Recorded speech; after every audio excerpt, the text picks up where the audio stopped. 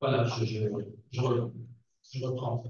Est-ce que vous pouvez faire la Est-ce que c'est possible de voir euh, le numéro? Parce qu'il y a un petit souci avec euh, les, les gens qui sont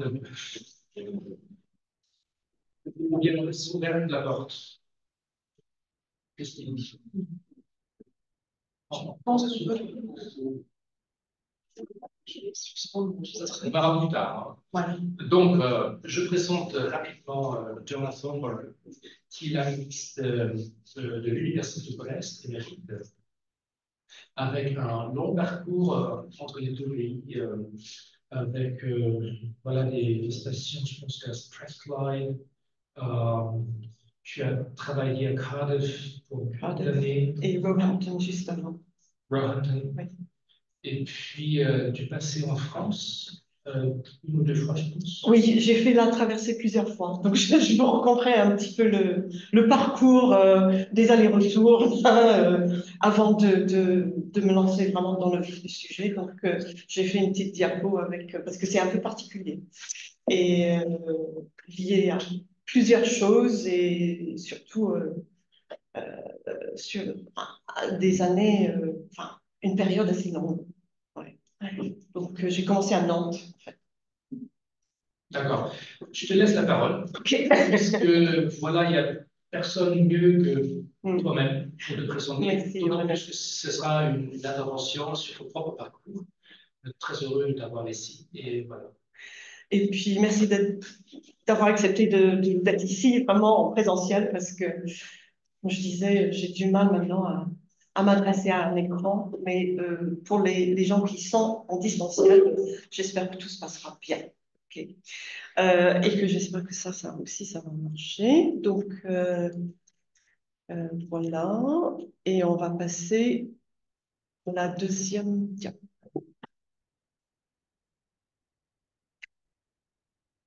OK, voilà. Voilà, c'est un peu ça que je voulais vous raconter avant de, de parler de quoi que ce soit. Donc, euh, en fait, moi, j'ai fait des études euh, jusqu'au niveau de la licence à l'université de Hull en Angleterre, dans l'Est d'Angleterre, dans le département de français. Euh, donc, j'avais une licence de, français euh, avec euh, euh, deux années d'espagnol euh, collées là-dessus Donc, euh, j'étais quand même, euh, dès le départ, très intéressée par les langues. au bac, j'étais linguiste, j'ai fait de l'allemand et du français. donc voilà, donc je, baignais dedans quand j'étais petite. et, donc en 80, je suis allée, je savais pas trop quoi faire parce que je voulais pas être professeur. Au départ, je ne voulais pas être enseignante dans, dans les lycées, je ne voulais pas enseigner le français, je ne savais pas ce que je voulais faire, tout sauf être enseignante.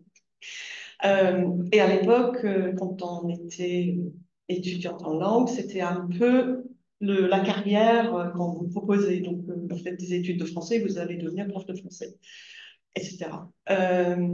mais c'était ça, hôtesse de l'air. je ne me voyais pas euh, donc, euh, je ne sais pas trop maintenant comment ça s'est passé, mais on m'a proposé le poste de lectrice à l'université de Nantes. Il y avait un échange entre Hull et, Nantes. Et donc, euh, manifestement, ils, m'ont choisi comme candidate. Et donc, j'ai accepté et je suis partie à Nantes. donc en 80, mais c'est là où j'ai fait la connaissance, enfin j'ai découvert la, un métier de l'enseignement de langue étrangère, qui était en flèche à l'époque. À cette époque-là, tout le monde voulait des, euh, des enseignants d'anglais. Mais comme moi, je savais toujours pas ce que je voulais faire, je me dis, bon, ben, je vais me lancer là-dedans. Euh, ça me permet de revenir en France parce que j'aimais bien la France et j'étais contente de, revenir. J'ai passé trois ans à Nantes, en fait, une année euh, dans la fac de lettres et puis deux années dans l'école d'ingénieur, en, lectrice toujours. Euh, et puis voilà, donc on arrive en 85 et j'avais toujours l'intention de faire une maîtrise de applied linguistics, hein, de linguistique appliquée, et on m'a toujours dit, bon, il faut avoir un peu plus d'expérience dans l'enseignement avant de venir. C'est un peu le contraire de ce qui se passe en France, où il faut faire un master tout de suite après la licence. Mais à l'époque, bon, nous, on nous encourageait de faire autre chose avant de se lancer dans un master. Et donc, j'avais mis de côté des sous pour payer des frais, pour aller, euh, mon objectif, c'était Edinburgh. Euh, mais en fait, j'ai atterri à Glasgow parce qu'à l'époque, mon compagnon était muté là-bas. Et moi, euh, j'avais pas très envie d'y aller à Glasgow. Je dis non, non, je préfère Edinburgh. Mais je dis bon, j'y vais quand même. Donc j'ai fini par aller à Glasgow et j'ai vu par hasard une annonce dans le journal euh, The Guardian euh, pour un master euh, en linguistique appliquée, c'était plutôt stylistique, mais à l'université de Strathclyde. Je vais les voir. Ils me disent oui, oui, oui, on veut bien de vous. Euh, et j'ai commencé euh, un master euh, en septembre 85 à l'université de Strathclyde. Et ensuite, ils m'ont proposé de m'inscrire en, en doctorat. Donc voilà, j'ai dit si j'ai un financement, je ferai une thèse. Sinon, je ne vois pas comment je vais le faire. donc j'ai commencé ma thèse en 86 le master en poche, euh, mais c'était cette année-là où je me suis trouvée enceinte de ma fille. Et tout le monde disait, euh, c'est votre fille, enfin c'est votre enfant, euh, ou la thèse, enfin dans la famille. Mais moi, je me suis dit, bah, je fais les deux. Et c'est comme ça, j'ai continué à... Donc, je lui dis, c'est un peu un récit personnel. C'est pas... Il y a des choses qui, qui se coupent. Donc, il y a des, des, des raisons qui ne sont pas purement académiques, mais très personnelles. Euh, donc, j'ai commencé ma thèse à Glasgow. En même temps, lui, il était remuté à Paris. Et donc, je suis partie euh, régulièrement. J'ai fait des allers-retours de Paris à Glasgow. La thèse ici, le bébé là. Et puis, c'est comme ça que ça a duré pendant quatre ans. Euh, donc, pendant ce temps-là, je faisais des cours d'enseignement d'anglais à l'Institut britannique de Paris, mais ma thèse était sur l'analyse de discours. Euh, ce qui m'a passionné dès le départ. Euh, et je cherchais désespérément des gens qui faisaient de l'analyse de discours à Paris, mais j'avais beaucoup, beaucoup de mal. Il y avait beaucoup d'enseignants d'anglais qui savaient beaucoup sur la linguistique appliquée, mais dans mon domaine, pas grand-chose. Euh, quelqu'un m'a dit, il faut aller voir euh, le professeur euh, Puglioli, qui avait son bureau, je pense, c'était Paris 4 à l'époque, je, me souviens, c'est un peu flou. Et je suis allée pas suivre des cours, savoir ce qui se passait. Et il m'a posé la question, donc, quelle, quelle théorie de la grammaire j'avais adoptée pour la thèse. Et je dis, pas, pas tellement, en tout cas. Et je dis, j'ai une approche plutôt fonctionnelle. Et là, il a dit, bah, bah, on s'est quitté euh, très rapidement après. Donc, c'était terminé. Euh, donc, voilà, donc j'ai défendu, j'ai fait ma soutenance de thèse à Glasgow en 91. Et puis mon mari, parce qu'on s'était mariés entre-temps, a été remuté à Londres. Donc on est reparti à Londres. Moi, j'avais terminé ma thèse et donc j'ai commencé à travailler à Roehampton. Euh, à ce moment-là, j'avais deux enfants. J'ai attendu euh, de finir la thèse avant de faire le deuxième, et voilà. Me voilà, pareil pour la vie, thèse, enfant, bon, j'y vais. C'est le poste qui m'intéresse. Donc, euh, à Roehampton, j'ai travaillé pendant sept ans. et puis, en 99, il y avait un poste à Cardiff. J'ai postulé, je voulais quitter Londres, j'avais envie vraiment de prendre l'air un peu. Euh, et donc, Cardiff était connu à l'époque d'être un centre de Je ne sais pas si tu, es déjà allé, tu connais euh, un peu le centre à, Cardiff. Euh, donc, assez prestigieux en sociolinguistique et analyse du discours à l'époque. Oui, à l'époque. et donc, j'ai réussi à avoir un poste que. Et puis, je suis restée jusqu'à 2012. J'étais reader. J'avais un le, grade ne sont pas pareils. Ça, je reviendrai là-dessus après. Euh, donc, je n'étais pas professeur à Cardiff, j'étais euh, lecturer, senior lecturer, puis reader. Euh, mais, et à mais, tout commençait à changer en Angleterre, enfin au Royaume-Uni en général, mais régionalement c'était compliqué, mais c'était différent. Donc c'est-à-dire que si vous êtes résident en Angleterre, vous payez plein pot partout. Si vous êtes résident en Écosse, depuis deux ans, trois ans, je ne sais plus exactement, euh, vous ne payez que, que 3 000 euros. Enfin, c'est très, c'est pas du tout. Euh, ah oui, non, c'est les, les Britanniques, c'est pas le Royaume-Uni, c'est les désunis. Parce que selon les, euh, les régions, les pays, nations différentes, les conditions d'études sont différentes aussi. Donc, c'est pas très juste, à mon avis. Bah, de toute façon, euh, moi, j'ai décidé de chercher ailleurs parce que tout changeait. Le centre euh, euh, a été, je pense que démoli n'est pas un mot trop fort. tout s'est centralisé au niveau de, des écoles, je reviendrai là-dessus tout de suite, et je cherchais des possibilités ailleurs. Je ne voulais pas aller ailleurs en Angleterre parce que je me suis dit, je vais retomber sur exactement le même problème. C'est que les étudiants ne sont plus les étudiants, ils sont les clients. Ils payent très cher les études. Et donc, il faut qu'ils réussissent à tout prix. Et c'est à toi de les faire réussir. Donc, c'est ta faute si tu réussis pas. C'était un peu ça. ça avait commencé. Moi, je suis partie l'année où euh, les frais d'inscription sont montés à 9000 livres par an. Euh, et j'en avais ras-le-bol. C'était très compliqué et je ne je me, je me voyais pas du tout. Je sais pas, enfin, tu auras peut-être des questions là-dessus après. Euh, donc, j'ai postulé euh, à trois, trois postes, une, un poste en Suisse et deux ici en France. et puis, ça a marché tout de suite à, à l'UBO. Je pensais que j'allais peut-être mettre deux ans, trois ans, parce qu'il y a toute une procédure dont je vais en parler à, poursuivre pour changer de pays, changer de procédure. Pas très facile.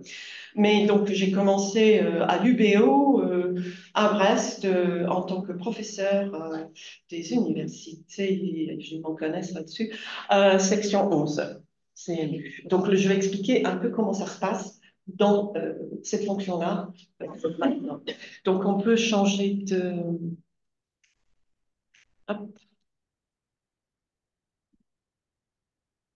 Oui, alors, deux pays, c'est plutôt deux cultures. Ça change beaucoup. Euh, pour moi, de toute façon, euh, c'était plus du tout... Enfin, si, c'était un peu comme les structures que j'avais quittées à Nantes pendant les années 80, mais c'est pas du. enfin, il y a eu des changements aussi au niveau euh, université euh, en France euh, depuis pendant tout ce temps-là. J'étais partie pendant 20 ans quand même en tout. ce qui change pas, en fait, bon, on est toujours dans un univers académique, scientifique. Il y a les, les, les, les, enseignants sont un peu pareils partout. Le milieu académique ne change pas tellement non plus, les étudiants non plus, le public ne change pas non plus. Donc tout ça, on dit, bon, bah, je change de pays, mais bon, je reste universitaire.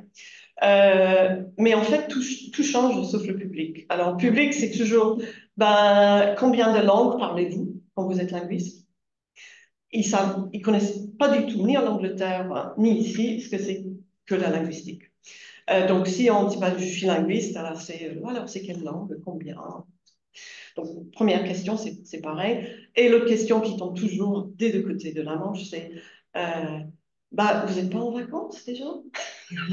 Donc euh, là, les gens qui ne sont pas universitaires ne comprennent pas pourquoi on n'est pas toujours en vacances. Parce que quand, quand, on suit les semestres ou les trimestres, bah, quand ça s'arrête, ça s'arrête. Nous, on est en vacances comme les étudiants. Donc euh, ça, c'est pareil, que ce soit en France euh, ou euh, de l'autre côté. ce qui change par contre, c'est tout le reste. C'est le monde universitaire n'est pas organisé pareil, le milieu académique non plus, et les étudiants, n'empêche, sont un petit peu différents. Carole est là.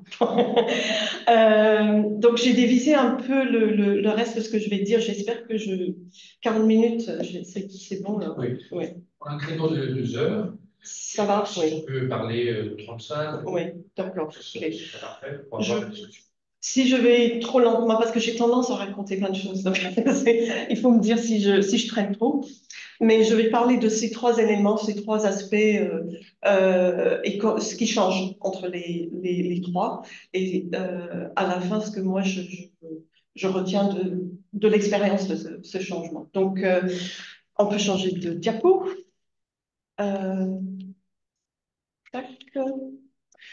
Donc, il faut dire que j'ai déjà collaboré entre plusieurs pays dans les projets internationaux.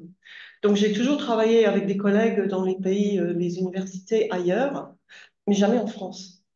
Euh, donc, on a fait un projet euh, européen euh, avec des collègues en Italie. le seul qui était en France, c'était Jeffrey Williams, c'était un Britannique que j'ai déjà connu à Nantes. Le monde est petit quand même. Une professeure polonaise et les Italiens. ici, après, une fois que j'étais partie, euh, je continuais à travailler avec mes collègues dans un séminaire qui s'appelle Broadcast Talk. Euh, et on a fait un, projet qui n'était pas financé, mais qui était juste les travaux des individus euh, divers et variés sur certains pays. parce qu'on avait les contacts, on avait quand même des gens en Grèce, en Suède, un peu partout. Et donc, on a fait un livre sur les élections en 2014. Là, ce qui va de se dérouler actuellement, donc c'est le bon moment donc c'était en 2014, sur la médiatisation de, des élections sur quatre pays.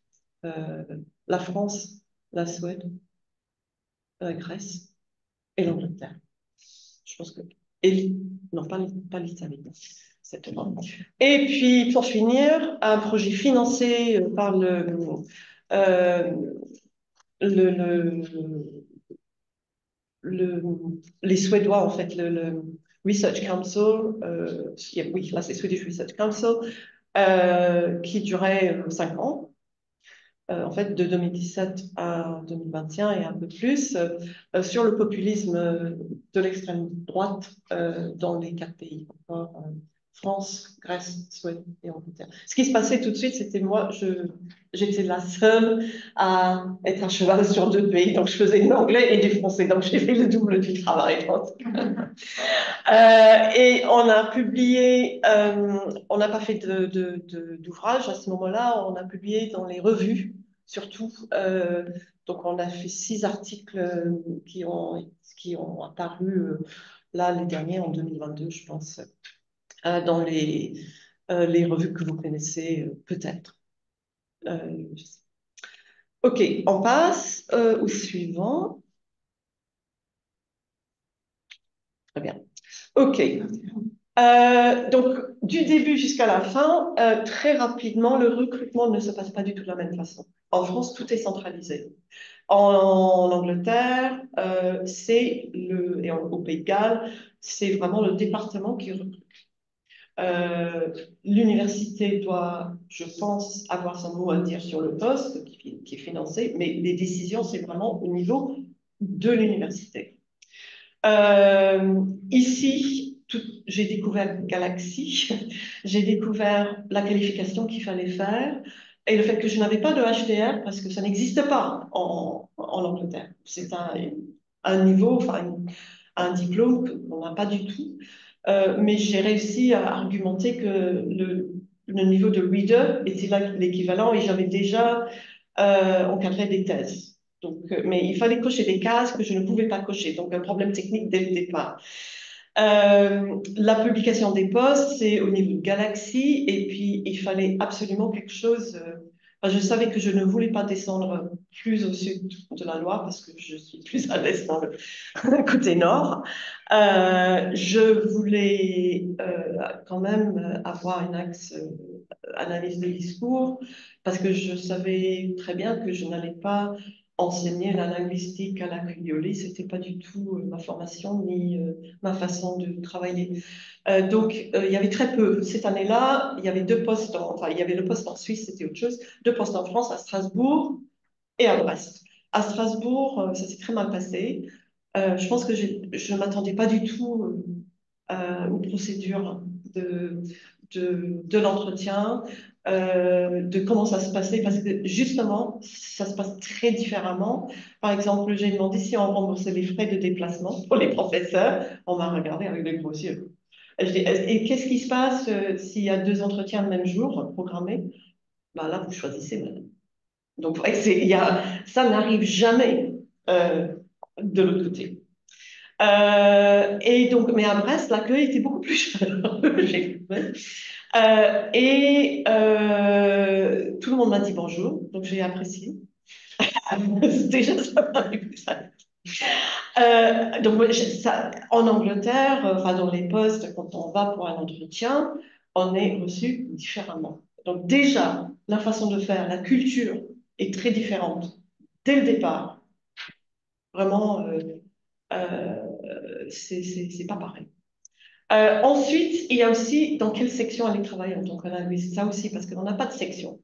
Euh, on est euh, recruté dans un département où il y a normalement d'autres linguistes, un petit noyau, parce qu'on n'est jamais trop nombreux. Mais il n'y a pas du tout cette histoire de, de section, donc 11e, 7e, sciences du langage, et j'ai appris après 71 infocom. Euh, mais les postes, les deux étaient en 11. Et là, il y avait clairement marqué analyse de discours. Donc, je me dis, bon, bah, je vais tenter le, le, coup là et on verra bien. Donc, euh, mais je pensais qu'en linguistique, euh, je n'avais pas du tout le bagage français, français de, de, de ce qu'il fallait pour postuler. Je ne suis pas sûre, hein, je ne savais pas, parce que toutes mes publications sont dans les revues britanniques ou internationales euh, où la langue étant, j'avais pas publié en français. Euh, et puis aussi, il y a les labos de recherche qui n'existent pas euh, dans le, système anglais, britannique. donc la, la question, qu'est-ce qu'on fait avec l'analyse des discours? Où est-ce qu'on se place? Déjà, ça pose un problème parce qu'on est un peu perdu. on va passer à la diapositive donc, par rapport à ce qui se passe euh, au Royaume-Uni, je, je, prends l'exemple de Cardiff, euh, l'organisation de l'université, structurellement, c'est très différent. Donc, on commence euh, au niveau, au niveau c'est le, Sénat, Senate level, et il y a un Vice-Chancellor et les, ce qu'on appelle les Pro-Vice-Chancellors. Donc, un peu comme ici. Ça, reste pareil. Donc, il y a le, le président et les, et les VP. Euh, avec les responsabilités un peu euh, différentes. Euh, mais à Cardiff, tout était organisé en schools. Et tout, il fallait avoir un acronyme avec cinq lettres. Donc, moi, je me retrouvais en NCAP, English Communication and Philosophy. Les autres, des exemples, il y en avait beaucoup, mais bon, JOMEC, c'était Journalism, Media and something else. SOCSI, c'était Social Sciences, Euros, European Studies, uh, Welsh, bah, ça faisait cinq lettres dans le mot, donc c'est Welsh to Welsh. Um, in NCAP, uh, on avait trois uh, parcours différents. English Literature, Critical Cultural Studies, Philosophy, and Language and Communication. The, language and, the Center for Language and Communication Research. Et c'est là où je travaillais avec des linguistes, tout le monde avait un lien avec ou la linguistique, sociolinguistique surtout, et l'analyse de discours. Par contre, en France, on va passer à la suivante. Donc voilà, un UBO. Bon, ça change. Il y a la présidence et les VP, oui, euh, mais j'étais en faculté, la faculté euh, de lettres et sciences humaines, et les départements, bon, il y en avait partout. Euh, dans la même faculté, art, géographie, histoire, philo, psycho, sociologie, lettres classiques et modernes, et puis euh, les langues, littérature et langues et civilisations étrangères et régionales, ils ont ajouté ça depuis que je suis arrivée, et LEA, que je connaissais déjà de Nantes. Euh, langue étrangère appliquée. Et à trouver ma place là-dedans, Euh, il y avait des parcours, euh, langue, littérature, comme je vous ai dit, mais linguistique là-dedans, c'était un peu compliqué parce qu'il y avait d'autres langues étrangères, de l'anglais, de l'allemand, de l'espagnol, du chinois, mais il n'y avait pas vraiment une place dédiée à la linguistique. Et puis, il fallait savoir euh, comment naviguer là-dedans, dans la faculté, parce que j'ai appris que les licences et les masters n'étaient pas du tout gérés par la même personne, ni du département.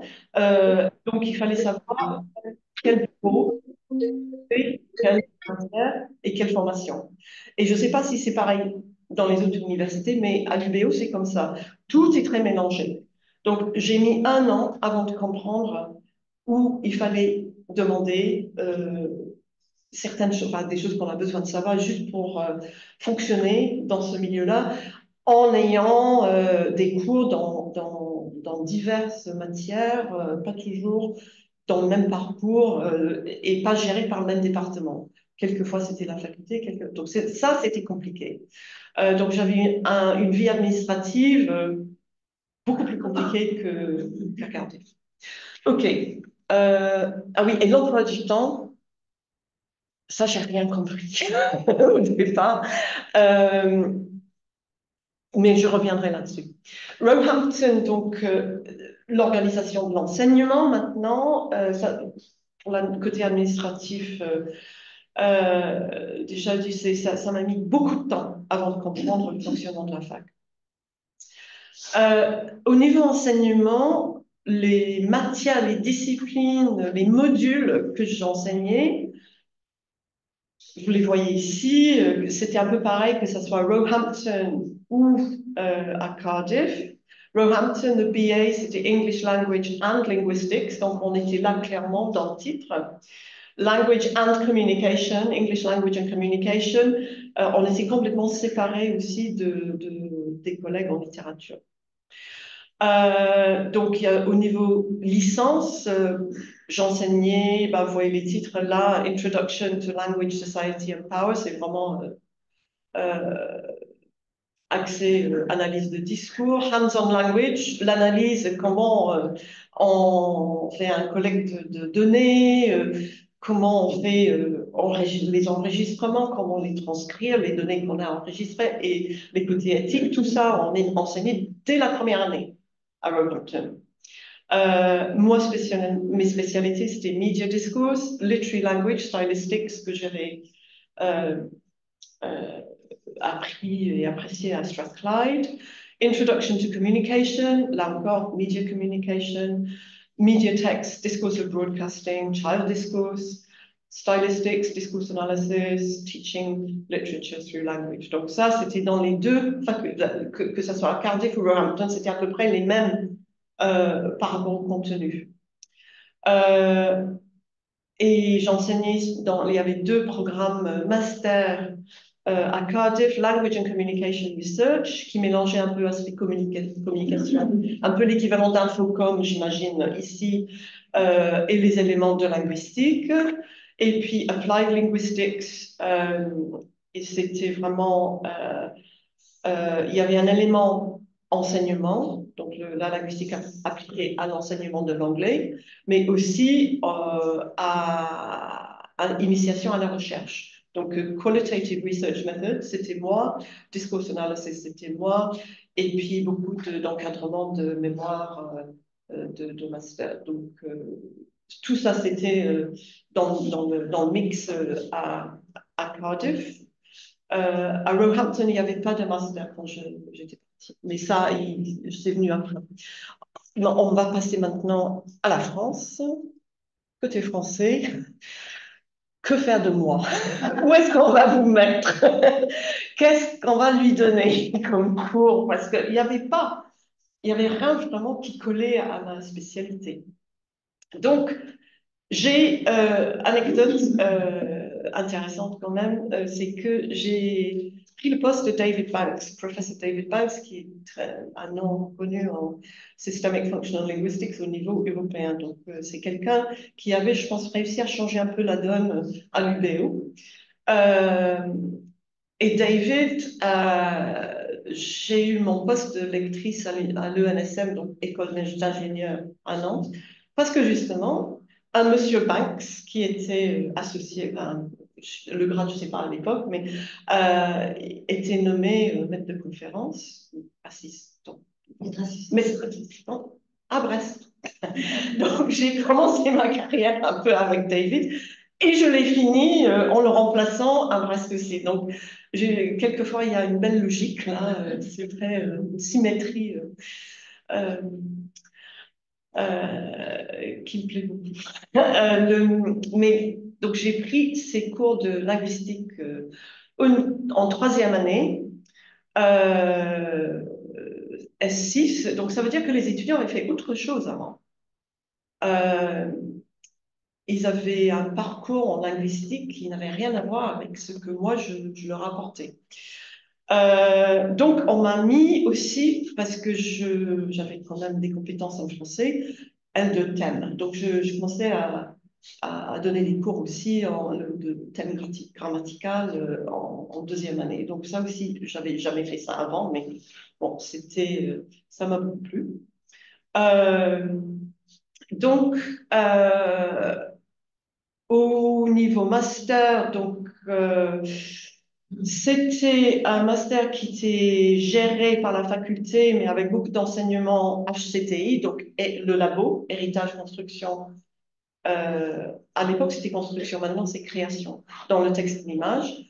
Euh, j'ai réussi en Master 1, niveau M1, de faire un cours complètement comme moi je le concevais en introduction à, la pragmatique. Donc, Grice, c'est Carole. C'est là où j'ai rencontré Carole. Euh, et l'analyse de discours. Donc euh, là, on passait un peu dans ma spécialité, mais c'était que en master. Euh, en M2 TIL, c'était un petit peu plus compliqué on m'a demandé de faire un, un, cours de trois heures en méthodologie dans le tronc commun. Je ne savais pas exactement ce qu'il voulait dire en méthodologie parce que le reste, c'était vraiment axé euh, littérature, civilisation. Carole est témoin parce qu'elle a fait euh, ce M2 TIL. et donc, comme euh, on m'a posé la question, on m'a dit, vous ne voulez pas faire quelque chose en Cultural Critical Theory? C'était ça comme il faisait à Cardiff. Et j'ai expliqué doucement que je n'étais pas du tout dans cette branche-là et que ça, c'était, il y avait tout un département de Critical Cultural Theory, mais moi, je faisais de la linguistique et c'était pas du tout la même chose. Et donc, j'ai proposé un cours en euh, analyse de discours euh, multimodal. On disait, bon, là, il y a le texte et l'image, mais j'essayais de, de, me caser quelque part dans le, l'optique globale de, de, la formation. Mais par contre, j'ai réussi à caser quand même mes connaissances histoire des médias, culture de l'écran, société écranique, en faisant quand même des cours sur l'évolution de... Euh, de la radio et de la télévision euh, en Grande-Bretagne. Donc, euh, cette histoire de, développement des, médias.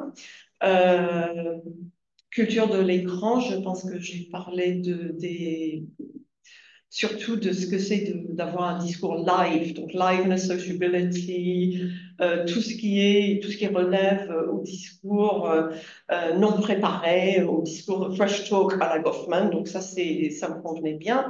Et pour la société écranique, je pense que je me suis consacrée surtout à une approche générique, donc reality TV, euh, les débats télévisés, tout ce qui était vraiment live talk. Euh, je m'intéressais pas du tout à autre chose. Donc, euh, pas les séries, les collègues faisaient des séries, euh, tout ce qui était... Bah, tu sais ce qu'il faut faire. Moi, c'était vraiment toujours axé analyse de discours des médias et avec ce qui m'intéressait sur le côté discours direct, en direct, ou comme si c'était direct. Euh, voilà pour mes spécialités. La grande découverte, c'était le master pro rédacteur traducteur euh, que j'ai dirigé. J'ai pris la suite d'un collègue qui était devenu doyen, Jean, euh, Le Dizez. Euh, et là, j'ai découvert un monde que je ne connaissais pas du tout, que j'ai beaucoup apprécié. Je n'intervenais pas beaucoup, sauf en Master 2, et je faisais un cours de 12 semaines, euh, donc 3 heures, non, euh, c'était 12 heures, euh, que j'ai appelé The Social Life of Text. Et là, j'ai pu faire un peu d'analyse de discours un peu euh, euh, venant de left field, comment dire, c'était pas, pas vraiment dans le cadre de la traduction, mais vraiment l'analyse de discours, et ils ont adoré. Je pense que tout le monde a vraiment apprécié, parce que c'était le texte dans son contexte. Euh, et donc ça, ça m'a beaucoup plu. Euh, Carole a aussi fait ce master-là. Je ne sais pas si... on, a, fait quand même des parcours qui se croisaient régulièrement. Et puis, euh, dans la traduction, toujours, euh, j'ai intervenu dans le management de projets internationaux multilingues. Et là, j'ai fait un cours sur la traduction anglaise, ce que j'ai appris qu'il fallait jamais faire. Donc, il fallait euh, expliquer aux étudiants en MPIM pourquoi il, il fallait jamais accepter de faire une traduction vers la langue secondaire. Il faut toujours traduire, comme on enseignait dans le Master Pro, on traduit toujours dans sa langue maternelle, vers sa langue maternelle, et jamais vers la langue étrangère. Et, mais surtout, le cours, c'était, mais on va vous demander de le faire quand même, parce qu'on va vous dire, mais vous parlez deux langues, trois langues, vous avez un master euh, international multilingue, donc euh, vous allez euh, me traduire. Ce petit texte, c'est très facile. Mais je dis attention, vous dites non, d'abord. Non, non, non. et après, ils vont tordre le bras, ils, vont, ils vont vous convaincre. Donc, il faut savoir que les petits textes, c'est toujours les plus compliqués, euh, que vous allez passer beaucoup de temps à le faire et surtout, vous, ne devrez pas faire sans le, euh, le faire vérifier par quelqu'un non seulement qui, est anglophone, mais qui comprend ce que c'est un peu le, la procédure de la traduction, parce qu'il y a des anglophones qui, qui, acceptent n'importe quoi. Donc il faut donner ce texte à quelqu'un qui s'y connaît et non euh, ta voisine du couloir. Parce qu'elle va dire oui, c'est super, c'est très bien, mais en fait non. Parce que le niveau d'anglais euh, n'est pas toujours euh, très très bon, quand même, pas très élevé sur les étudiants britanniques non plus. il faut vraiment des spécialistes. Donc voilà, ça c'était un petit cours. Et puis ce que j'ai adoré aussi, c'est les cours d'anglais euh, euh, avec les agrégatifs. Euh, là, le thème avec les, étudiants inscrits en, inscrits agrég, c'était super. c'était vraiment là où un côté linguistique, une approche linguistique servait vraiment à quelque chose. Donc là aussi, j'ai trouvé ça, c'était un des cours que j'ai préféré avec les cours, avec les masters. Euh, rédacteur, traducteur, et euh, avec le, les M1 euh, en la méthodologie. ok, donc ça c'est l'enseignement. Ensuite, je pense qu'on arrive à la recherche. Ça va niveau temps? Je peux prendre cinq minutes pour, il doit y avoir d'autres trucs à dire. oui, donc au CLCA, à Cardiff. Euh, on faisait un peu tout, mais c'est vraiment euh, dans la discipline de la linguistique variée. Donc, ça, de la sociolinguistique, il y avait health communication, il y avait non-verbal communication, il y avait systemic functional linguistics, il y avait formulaic language, bon, il y avait tout. Mais c'était vraiment la linguistique, l'analyse de discours. On avait notre propre euh, comité de, euh, de la recherche, euh, on gérait notre euh, financement nous-mêmes. On avait des fonds qui arrivaient d'un peu partout, non seulement de l'université et de l'école, mais aussi des gens qui venaient nous rendre visite, qui payaient un forfait pour venir passer un semestre chez nous, euh, avec accès à toutes les ressources. Euh, souvent, ils donnaient une conférence ou deux, mais ils étaient là, ils profitaient un peu de ce cet environnement euh, vraiment mondialement reconnu en linguistique. donc, ils payaient, je ne sais pas combien c'était, mais ça nous générait des fonds qu'on pouvait disposer comme on voulait. Donc, en fait, souvent, ce qu'on faisait, c'était utiliser euh, nos propres ressources euh, pour financer euh, des, projets. Donc, je reviendrai là-dessus dans un instant. par contre, la gestion de la recherche et l'évaluation de la recherche est fait au niveau national, mais d'une façon très différente qu'en France. Donc, on avait, quand j'ai commencé, c'était les Research Assessment Exercise, et après, Euh, RE, je ne sais pas ce que j'ai fait faire le français, oui. Excellent Framework oui, c'est ça. Et maintenant, il y avait des éléments, euh, il fallait avoir quatre publications. Dans les publications jugées euh, quatre étoiles, euh, donc on parlait de faux by faux, et dans les, les plus prestigieux, c'était dans les revues internationales avec comité de lecture. Mais les revues avec un impact factor, donc les plus lus, les plus reconnus. Euh, euh, ensuite, c'était, euh, on descendait d'un cran, c'était Monograph, donc une publication où on était le seul auteur, autrice. Après, c'était les Edited Collections, qu'on fait beaucoup en France, mais qui sont moins prestigieux côté anglo-saxon. Mais euh, ce qui était important, c'est que ce, cette recherche-là était la base de ce qu'on enseignait aux étudiants. Donc, on était vraiment dans une optique. Euh, donc, nous, on, est les chercheurs, mais les cours qu'on donne sont basés sur la recherche et les, étudiants ont été amenés dès le départ à faire des projets de recherche eux-mêmes. Donc, euh, l'évaluation, et là, c'est je reviens à l'enseignement parce que ça se, ça se croisent souvent, c'est que souvent c'était les projets, il fallait qu'ils aillent faire des choses, ils ont des, des travaux euh, continus euh, et très peu d'examens, très très peu d'examens, tandis que c'est le contraire. En France, les étudiants français avaient très peur quand je dis bon, vous allez euh, euh écouter quelque chose, me faire une petite transcription, me faire une analyse.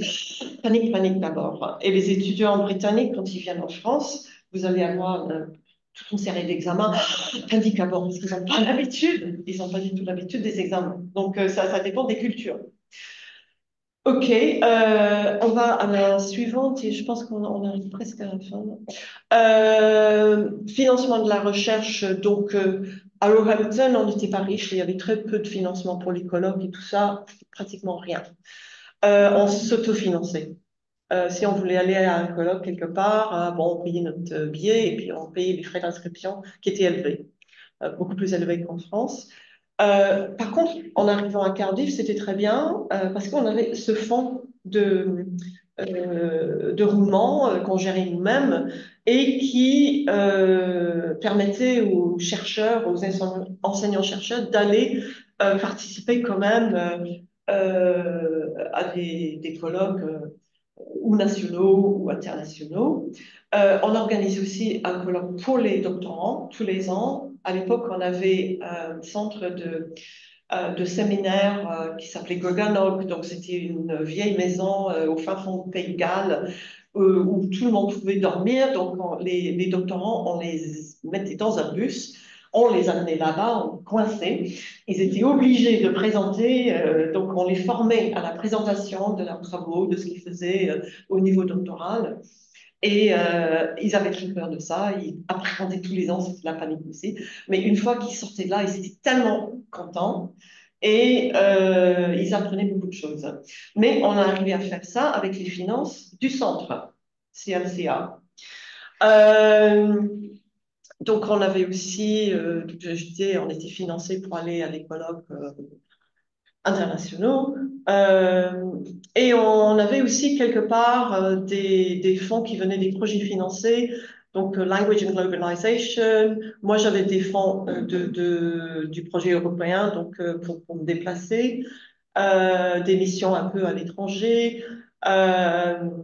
Et puis, il y a des, des financements un peu comme, euh, comme ici en France, euh, euh où on, on, fait une demande, un projet de, de, de recherche euh, qui est financé ou pas. Euh, en France, ça, ça s'appelle, c'est la line. Voilà. Merci.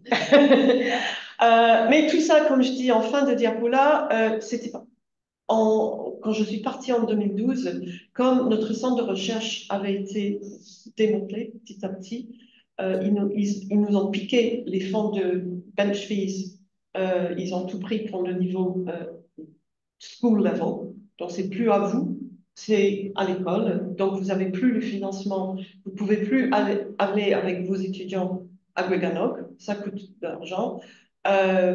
donc, tout ça, c'est pour nous et donc c'est partagé entre les autres départements. Et eux, ils n'avaient pas du tout les mêmes choses, parce que les, départements de littérature, philo et euh, critical cultural theory n'avaient pas du tout le même nombre de, de, visiteurs, dans de, de, chercheurs invités qui payaient des bench fees. Donc en fait, c'était nous qui, qui apportaient euh, ces fonds-là, mais qui ensuite étaient distribués à tout le monde. Donc c'était fini. C'était fini.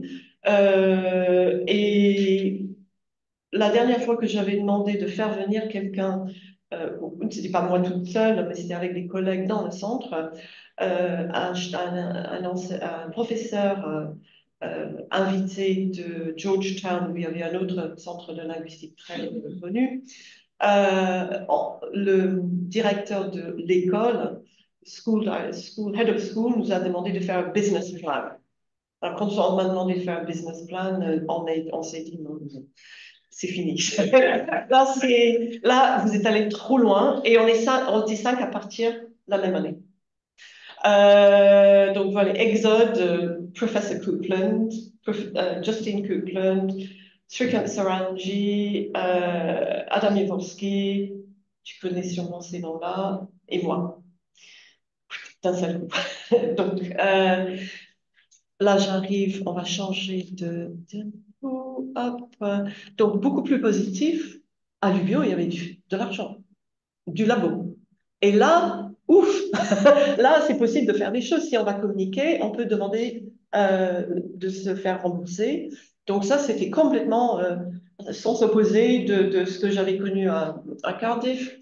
Euh, par contre, organisation de la recherche, donc là, j'étais dans un centre très spécialisé. Alors là, je suis dans un labo extrêmement divers et varié. Euh, et il faut que je comprenne ce que c'est le projet quinquennal. Alors, j'avais beaucoup de mal au départ, parce que je suis arrivée, il démarrait rapport de force. et là, il y a plein de gens de disciplines très, très, très différentes dans ce labo, on a 45 ou moins euh, membres venant de, de, philo, littérature, euh, des hispanistes, il y a des études de euh, classique, il y a de, de, l'art, de la danse. Et les linguistes là-dedans, encore une fois, on ne sait pas trop ce qu'on fait. Donc, on, on, est très peu on est 34 dans le labo. Euh, moi, je n'ai pas du tout l'habitude de, me plier à un concept. Ce n'est pas du tout ce qu'on fait euh, dans la recherche, euh, analyse de discours, linguistique. Normalement, ça ne marche pas comme ça. Donc, c'est un gymnastique intellectuelle assez compliqué pour moi, en tant qu'anglo-saxonne, qui n'avait jamais connu ça. et après, il y a des grandes réunions. Lundi, j'étais dans une réunion, on était une quarantaine dans une salle à discuter comment on allait euh, se fédérer un peu sur le, euh, le, thème actuel qui est cinétique de l'écart. Donc, euh, moi, j'ai expliqué un petit, un petit peu ce qu'on faisait, bah, émérite en plus. Moi, je suis partie à la retraite.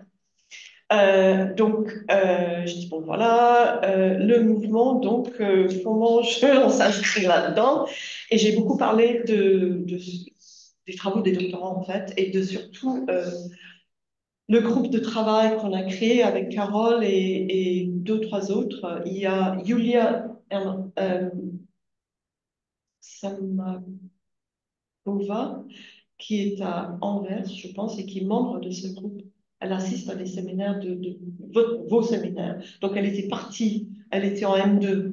Euh, moi, j'ai regardé son mémoire, M2, et euh, Carole, Pierre, qui est linguiste côté, enfin, mais, français, euh, donc pas du tout angliciste, Edward, qui est anglophone et dans le mémoire, j'ai entendu aussi, comme, Carole, euh, Joanna Didier qui est partie à Swansea faire euh, une thèse avec euh, Nuria euh, Lorenzo Dus, donc une collègue en analyse de discours, mais on travaille ensemble, tant bien que mal, en visio, en présentiel.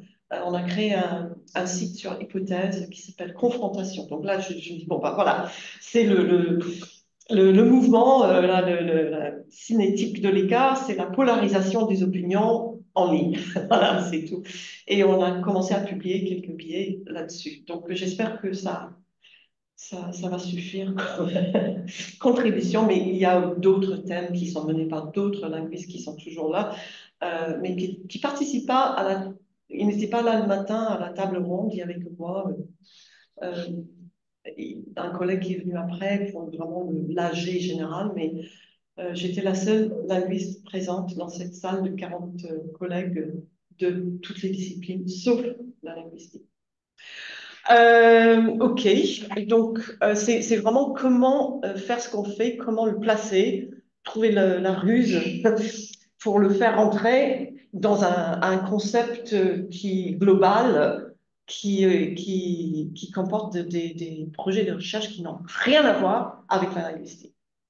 Euh, et ensuite, là, c'est vraiment euh, la fin, je change de... Life on the ground, bon, c'est pareil que en Angleterre et au Pays de Galles, on ne sait pas ce que c'est. Euh, on, on retrouve aussi les mêmes valeurs. La linguistique, c'est vraiment le, cousin, euh, le pauvre, the poor relation, the, distant cousin. Littérature, c'est le summum. On est euh, vraiment des gens qui ont des... On est mal vu, on est, c'est moins bien de, de, faire la linguistique. Ça n'a pas le, le, cachet culturel, intellectuel, parce qu'on est dans la vraie vie, euh, on n'est pas dans les idées de... Donc ça, c'est pareil, que ça soit ici ou là-bas on était euh, vraiment les, les, cousins pauvres de, du département et du school level. On ne comprend pas. Euh, en étant linguiste à la BU, euh, à, l'UBO, les ressources à la BU étaient quand même minimes. Ils ne savaient pas ce que c'était non plus. donc, les abonnements aux revues internationales, moi j'ai demandé quelques abonnements quand même. On a G-Store, donc ça commence à être mieux, mais souvent je fais appel à mes collègues euh, en Suède ou à Cardiff ou à Glasgow euh, pour me, m'envoyer les articles en PDF parce qu'il n'y a pas toujours accès euh, à l'UBO. le système de classement de la linguistique, c'est toujours dans les rayons lettres françaises. Enfin, dans, y, a, il y, a, une section rayon linguistique française. Euh, mais en anglais, non. Tout est euh, ou les dictionnaires, ou les méthodes, euh, ou les manuels d'apprentissage linguistique appliqués. Et je cherchais en effet, mes collègues linguistes ont fait un colloque international sur l'identité et les discours au mois d'octobre l'année dernière. Donc vraiment, plein dedans. Je vais chercher un livre qui s'appelle Discourse and Identity, que moi j'ai donné à la BU. Quand je suis partie à la retraite, j'ai donné quand même des livres.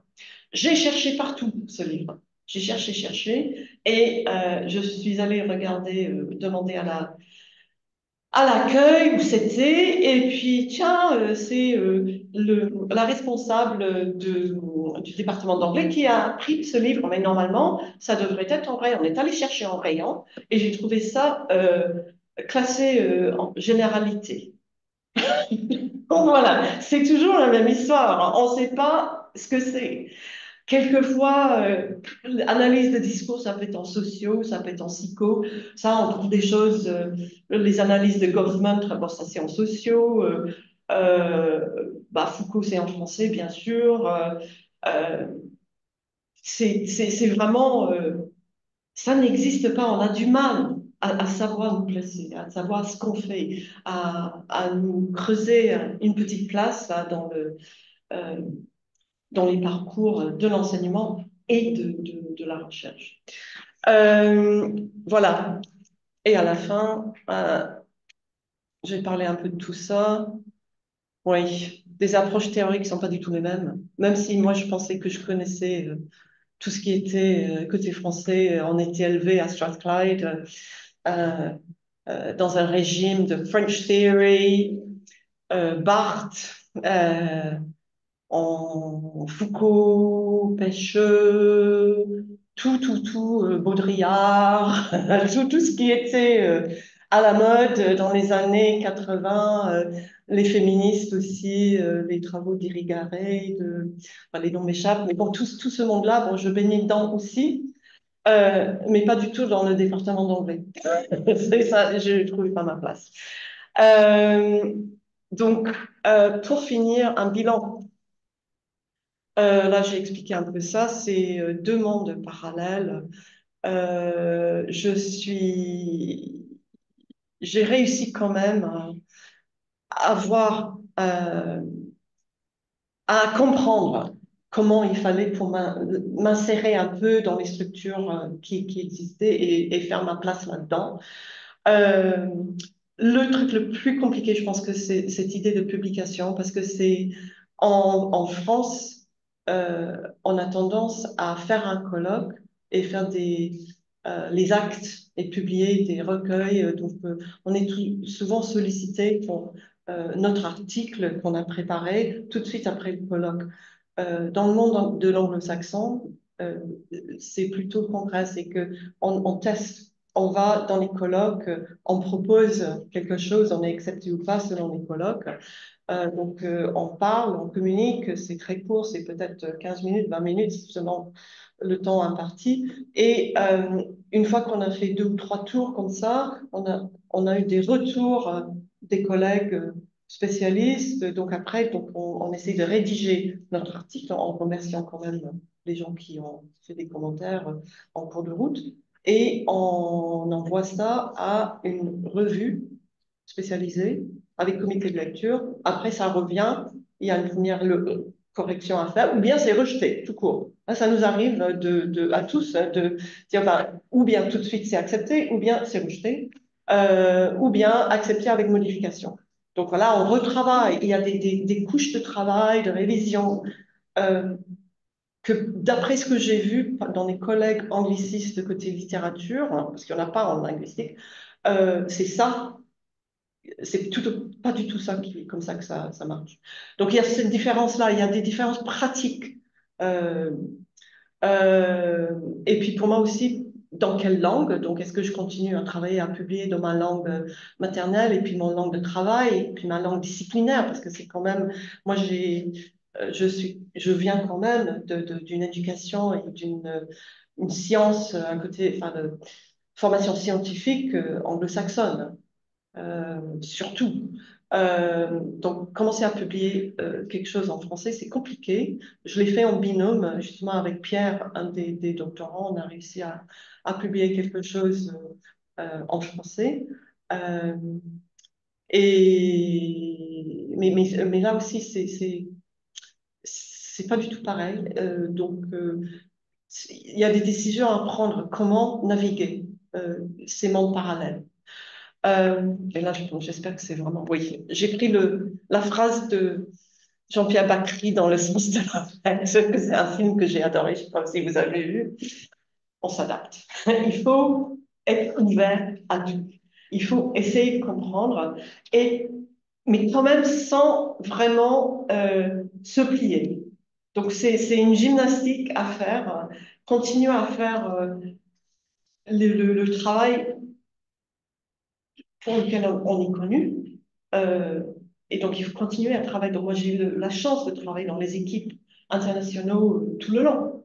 Euh, mais comment ne pas négliger ce qui se passe euh, sur le terrain, dans l'UBO, dans le département? Comment je peux faire ça? Et c'est énorme. C'est un boulot très prenant. Les rythmes de travail sont terribles. Là aussi, il faut s'adapter parce que ça va très vite. L'emploi du temps, c'est tout n'importe quoi. à Cardiff, on connaissait toujours un an de l'avance ce qu'on allait faire et quand. Parce que ça bougeait pas d'année en année. Alors, à l'UBO, on peut ne pas savoir euh, la veille dans quelle salle on va être. Et quelquefois, il y a des changements. Euh, euh, tu trouves quelqu'un d'autre qui occupe la salle. Donc là, il faut négocier. Enfin, c'est très, très différent au niveau de l'organisation. ce que j'ai vraiment apprécié, le plus enrichissant. Vivre et travailler dans les deux langues, ça m'a beaucoup plu. Ça m'a sorti de mon bain anglo-saxon qui est un peu limité quand même. Il n'y avait pas de Français. Et j'ai compris pourquoi. Parce que les Français ne viennent pas aux grands colloques internationaux. Enfin, c'est rare. Les, les, gens qui présentent ou, travaillent sur le français, c'est souvent des Belges ou des Canadiens. C'est pas vraiment des Français. Donc, euh, Linguistic Symposium, vraiment énorme colloque international euh, de, de, la sociolinguistique, ben, les Français sont très peu là. Lyon, peut-être, les collègues de Lyon, mais personne. Et, et je pense que c'est vraiment, ça vient de, en fait, du fait que le, la langue scientifique, enfin la langue française, en tout cas la langue scientifique est très protégée, très... Euh, euh, et c'est dommage parce qu'il y a des, des choses, des échanges qui pourraient être riches, mais qui, qui ne se font pas dans ces, ces grands colloques. Euh, le master RT, donc là, la direction, je suis vraiment plongée dans un monde euh, de la traduction professionnelle, c'était. Moi, j'ai appris énormément de choses. Là, c'était vraiment une formation pour moi aussi. Euh, je disais, euh, enseigner le thème en agrègue, ça c'était super. Euh, et puis en émérita, pouvoir continuer avec des doctorants, avoir un, pied toujours dans les couloirs de la fac, tout en étant libéré du, Free from the day job, qui est énorme. Euh, donc voilà, c'est tout. Et euh, je suis désolée, j'ai parlé un peu trop longtemps, mais c'est. Euh... J'avais des choses à dire. C'est bon. Merci de m'avoir écouté. Alors, euh, ça, c'est une réflexion institutionnelle sur un parcours euh, national. Euh, voilà, on a donc le temps pour des questions, des, des, remarques, des observations. Et j'imagine qu'il y a pas mal de choses qui, qui résonnent avec votre expérience. finalement, il ne faut quand même pas oublier que l'existence homologue, c'est plutôt exceptionnel dans le monde. si on compte bien, en fait, la plus grande majorité de l'humanité, bilingue ou trilingue, et du coup, euh, voilà, c'est peut-être euh, euh, quelque chose qu'on oublie facilement quand on fait sa manière uniquement en France uniquement. Absolument. Absolument. Ouais. J'aurais plein de questions. Merci beaucoup, Johanna. ça résonne énormément avec moi. Je n'ai pas eu la chance de travailler entre deux pays, mm -hmm. euh, mais euh, je suis très proche de David Bank. Bah oui, oui, oui, oui, oui, je sais. J'ai plusieurs questions. Euh, vous, avez, vous avez commencé, euh, tu as, vous avez commencé en disant que c'était très compliqué de, de changer de pays. Je me demande si c'est parce que c'était depuis le Royaume-Uni vers la France, est-ce que dans le sens contraire, ça a été plus simple? Euh, Est-ce que c'était le fait de venir en France? Euh, euh, Autre question, tout ce que vous avez dit sur votre sur, le, parcours du combattant pour trouver votre place en tant que linguiste mm.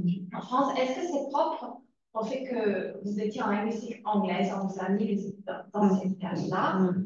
Et donc, euh, et donc est-ce que ça renvoie plutôt à, l'enseignement de, des langues étrangères? Mm. euh, Je ne sais pas si les, les, linguistes et ceux qui en ont un peu comme ici vivent des mêmes choses en France.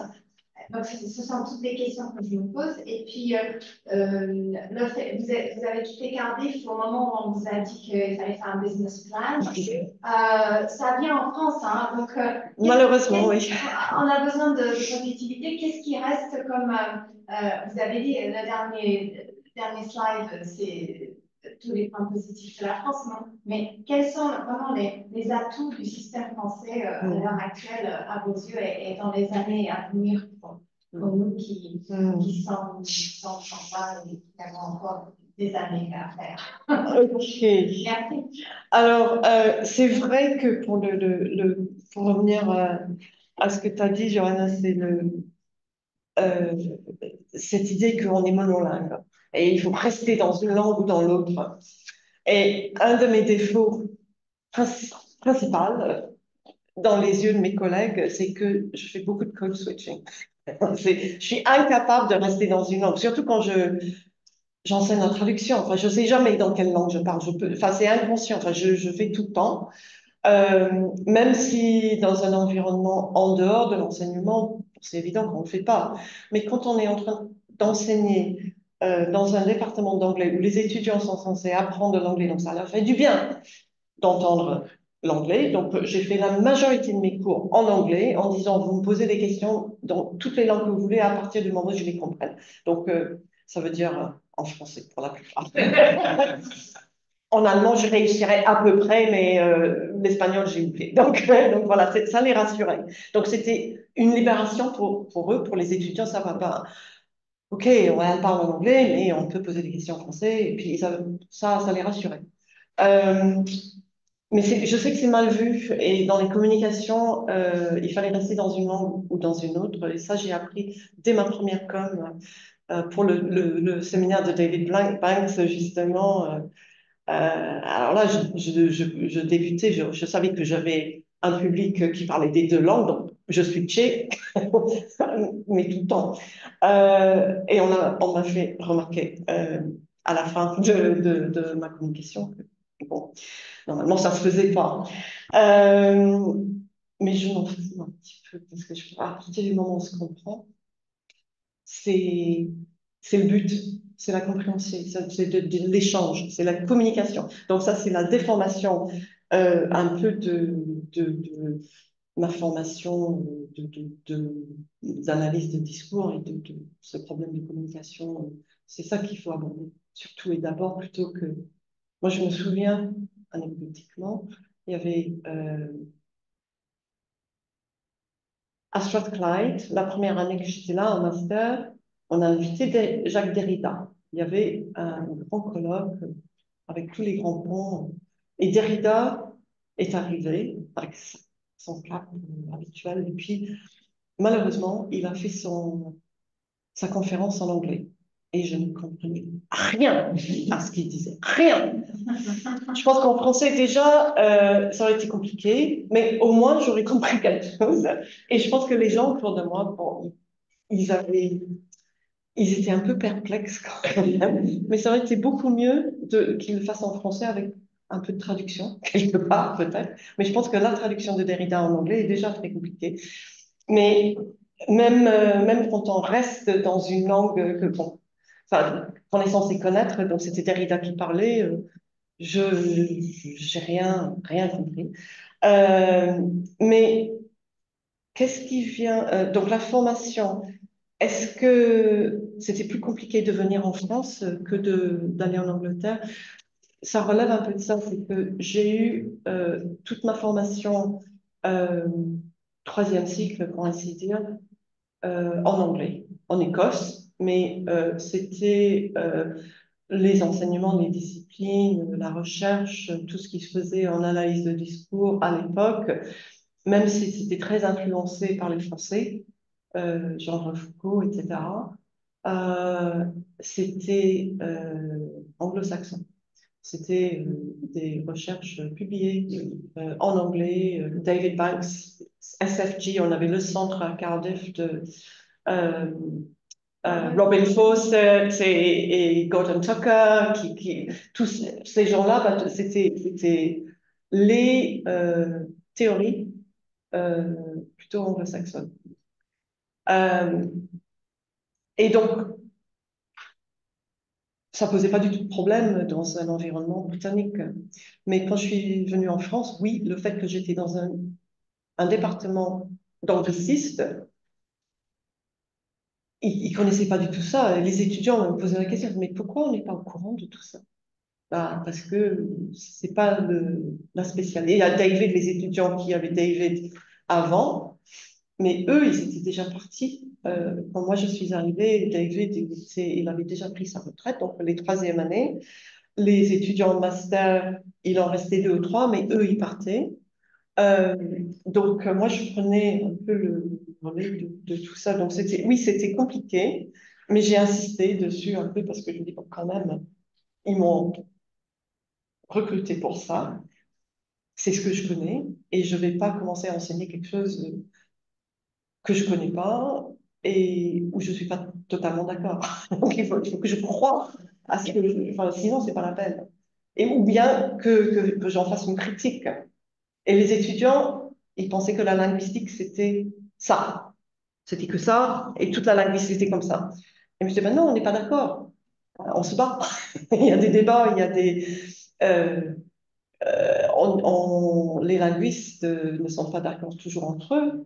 Il y a plein de branches qui, différentes, et puis bon, ça, se dispute. Et ah, ah bon et Oui, oui, oui. Et on m'a demandé d'enseigner le groupe nominal, donc là je reviens à la linguistique fonctionnelle de David, et j'ai fait, euh, je prépare parce que moi je ne connaissais pas, jamais enseigné le groupe nominal. Euh, ça se fait pas. donc bon, bon, ça, je, sais faire, mais je me base sur ce que je connais, puis euh, avec mon paquet de céréales, puis euh, les vraies données d'un côté, et puis euh, quelques théories de l'autre, bah, ils ont réussi, les étudiants. Et ils ont peur, ils pensent que c'est très abstrait. Non, non, non, il faut commencer avec le concret, il faut commencer avec les, vraies données. Où est-ce qu'on trouve des groupes nominaux et pourquoi? Et comment ça se construit? On, part toujours de bottom-up, mais non pas top-down. Euh, oui, et la dernière question, c'était? Euh, Cette idée de néolibéralisation ah. de, tout ce qui est l'institution de l'éducation en France. Hum, ça arrive. C'était pas encore là quand je suis arrivée. Euh, je pense que j'ai eu quand même beaucoup de chance euh, à être membre d'un labo qui est grand, donc qui est bien doté. On a, on a des sous. Euh, mais je pense que les petits labos, c'est beaucoup plus compliqué. Euh, mais je vois ça venir là. Je suis jamais sûre comment ça se dit euh, en français, mais en anglais, c'est le commodification of education. Ça, ça devient un produit. Et donc, il faut viser l'après. Le côté intellectuel est complètement écarté souvent. Donc, il faut former les étudiants pour ce qu'ils vont faire après. Et ça, c'est très compliqué, surtout en, euh, en langue, euh, si les étudiants ne veulent pas être prof d'anglais ou d'espagnol ou autre chose. Euh, et la traduction, ils ne connaissent pas. Ils pensent que c'est la traduction littéraire. Car tu, ils, tu dis, bon, master, rédacteur, traducteur. Alors, votre niveau de français, c'est quoi? Ah, très bien un test nul. ils ne savent pas, c'est les anglicistes, ils ne lisent pas en français, ils ne maîtrisent pas du tout la langue française. Euh, donc il y a ça, c'est un métier, donc un niveau possible. Mais pour les autres, ils ne savent pas, en fait. Mais euh, je pense que ça va, venir euh, petit à petit. Moi, j'étais contente dans les réunions de conseil de fac, les AG du labo, on vote. On vote plus en Angleterre. Tout est imposé.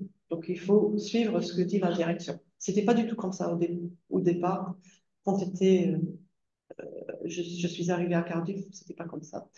Donc, méfiez-vous. Il faut lutter contre. Et il faut aussi un peu lutter contre cette idée que tout doit avoir dans la, le but de la recherche, c'est d'avoir un impact concret dans le monde.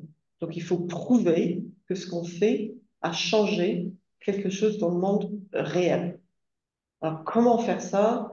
En linguistique, et on peut, avec les disciplines forensic linguistics, par exemple. Donc là, la langue appliquée à la loi.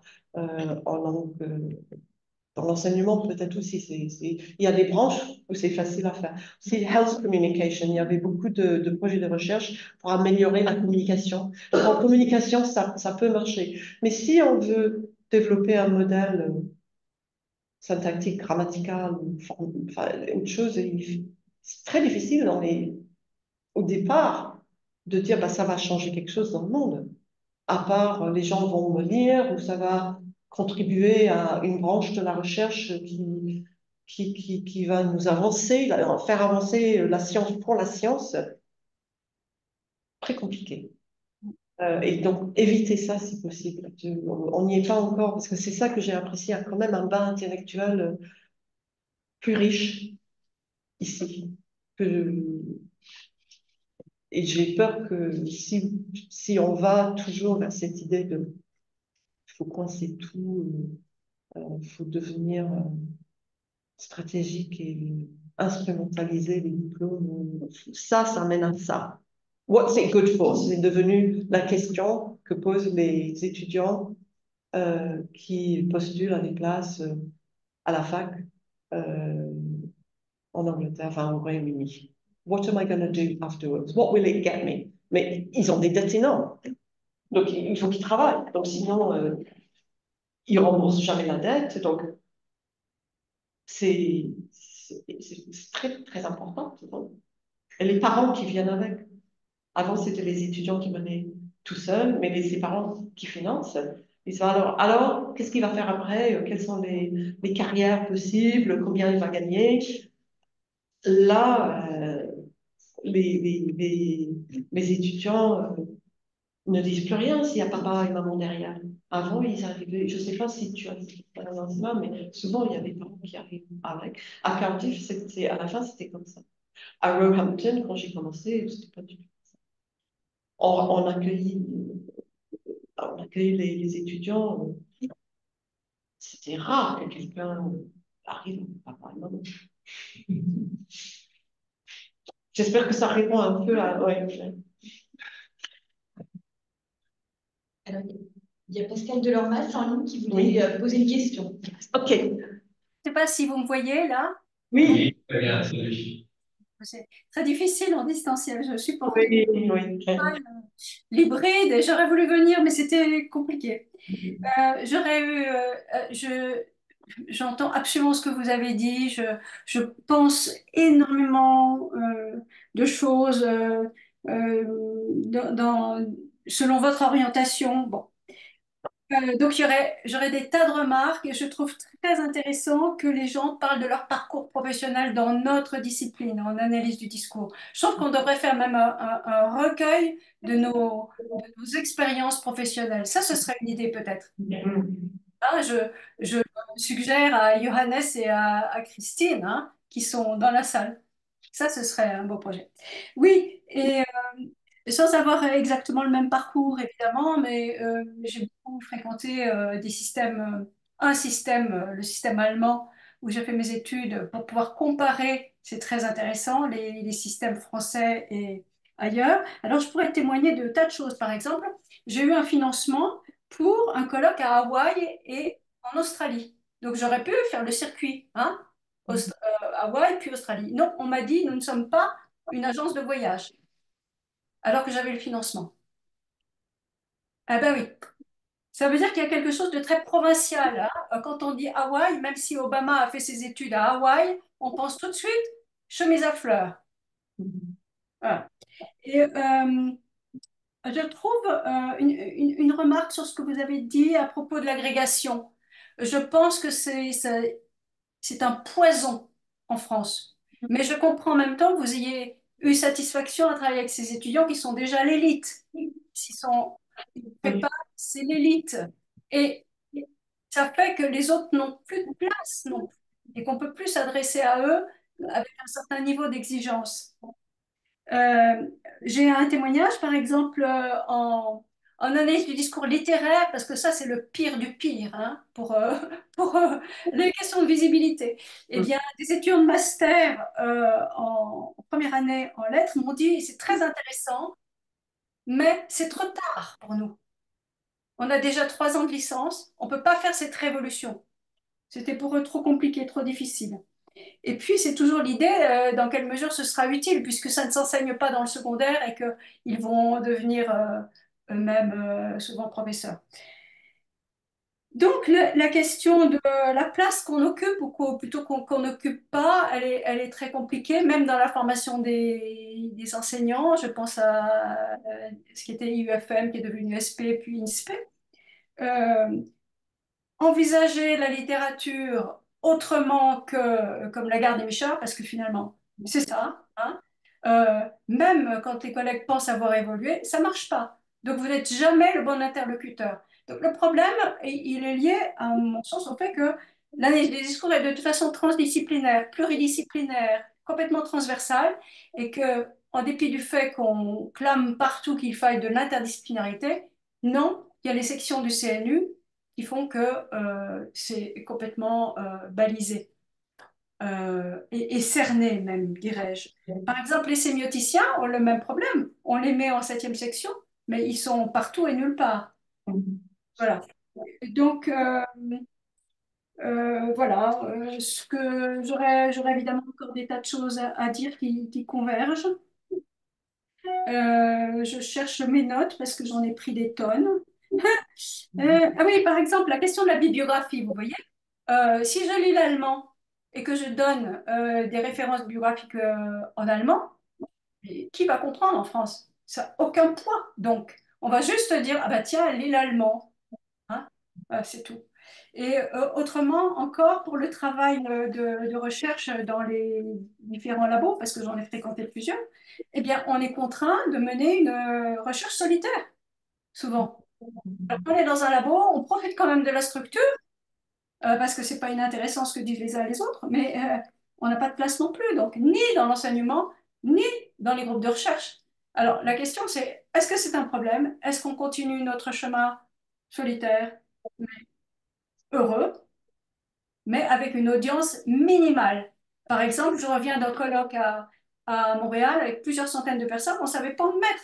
C'était approche discursive, de, de, l'écriture académique et en l'occurrence les thèses, aide à l'écriture de la thèse. A un énorme succès auprès des doctorants, mais vous ne vous pouvez pas communiquer là-dessus parce que les gens ne travaillent pas là-dessus. Et puis surtout pas en analyse du discours, c'est de la méthodologie, mais pas l'analyse du discours. Et puis à propos de méthodologie, autre chose. En fait, on reconnaît les gens à leur objet. Mais quand vous travaillez surtout la méthodologie, comme c'est le cas chez les analystes du discours, ben on n'a pas de place non plus. Parce qu'on n'est pas. Vous avez parlé de tous les domaines euh, que vous pouviez euh, euh, toucher, par exemple l'analyse du discours médical, l'analyse du discours scolaire, l'analyse du discours littéraire. Ce n'est pas l'objet qui nous, qui nous définit, c'est l'approche. Et, et, et c'est pour ça aussi qu'on n'a pas de place. Voilà, donc la grande question, c'est qu'est-ce qu'on fait on courbe les chines ou, ou on met les témoignages euh, comme le vôtre pour montrer qu'on a quand même des choses à dire et que, voilà. Ah, c'est une grande question, en fait. oui, très grande question. Euh, je suis d'accord euh, que l'agrégation pose un énorme problème. parce que, justement, les, les financements doctoraux sont toujours pour les gens qui ont fait, qui, enfin pour les, les, les, agrégés. Et nous, on est rarement en linguistique et analyse des discours agrégés. On a un collègue euh, doctorant euh, à, à l'UBO qui, qui, est brillant, qui est très très bien, mais euh, ils ont besoin de linguistes en plus à l'UBO, mais il n'aura jamais de financement parce qu'il y aura toujours un, étudiant euh, agrégé qui, a fait un parcours littéraire classique euh, exemplaire et qui va convaincre le jury euh, et qui va avoir le financement parce que lui va lui manquer un élément, c'est la grecque. Euh, donc, oui, c'est un obstacle. Moi, j'ai utilisé mes cours de, de, de thèmes avec les agrégatifs qui étaient très, peu nombreux. Euh, pour décortiquer un peu, je faisais mon analyse de discours des rapports des jurys à la grecque, et puis je dis, bon, bah, il faut quand même développer une, stratégie de traduction, donc ça revenait plus à la communication. Euh, comment faire quand on tombe sur quelque chose euh, Là, l'exemple le plus récent, c'est il y avait un jeu, il y avait un texte tiré du livre de Annie Ernaux, Les années, on parlait des jeux de société de l'époque, donc le jeu des petits chevaux. Les étudiants ne savaient pas ce que c'était. Je ne sais pas ce que c'est. Donc si vous, vous ne savez pas ce que c'est, moi je ne sais pas ce que c'est non plus. Aucune idée. Et vous ne pouvez pas m'expliquer. Alors, que faire de ça? Il faut prendre une décision stratégique, comment traduire, par exemple. Euh, je sais que ce n'est pas grammatical, mais ça compte quand même pour quelque chose. Que, faire quand vous êtes confronté avec quelque chose que vous ne connaissez pas, vous ne comprenez pas la référence euh, ni le référent d'ailleurs.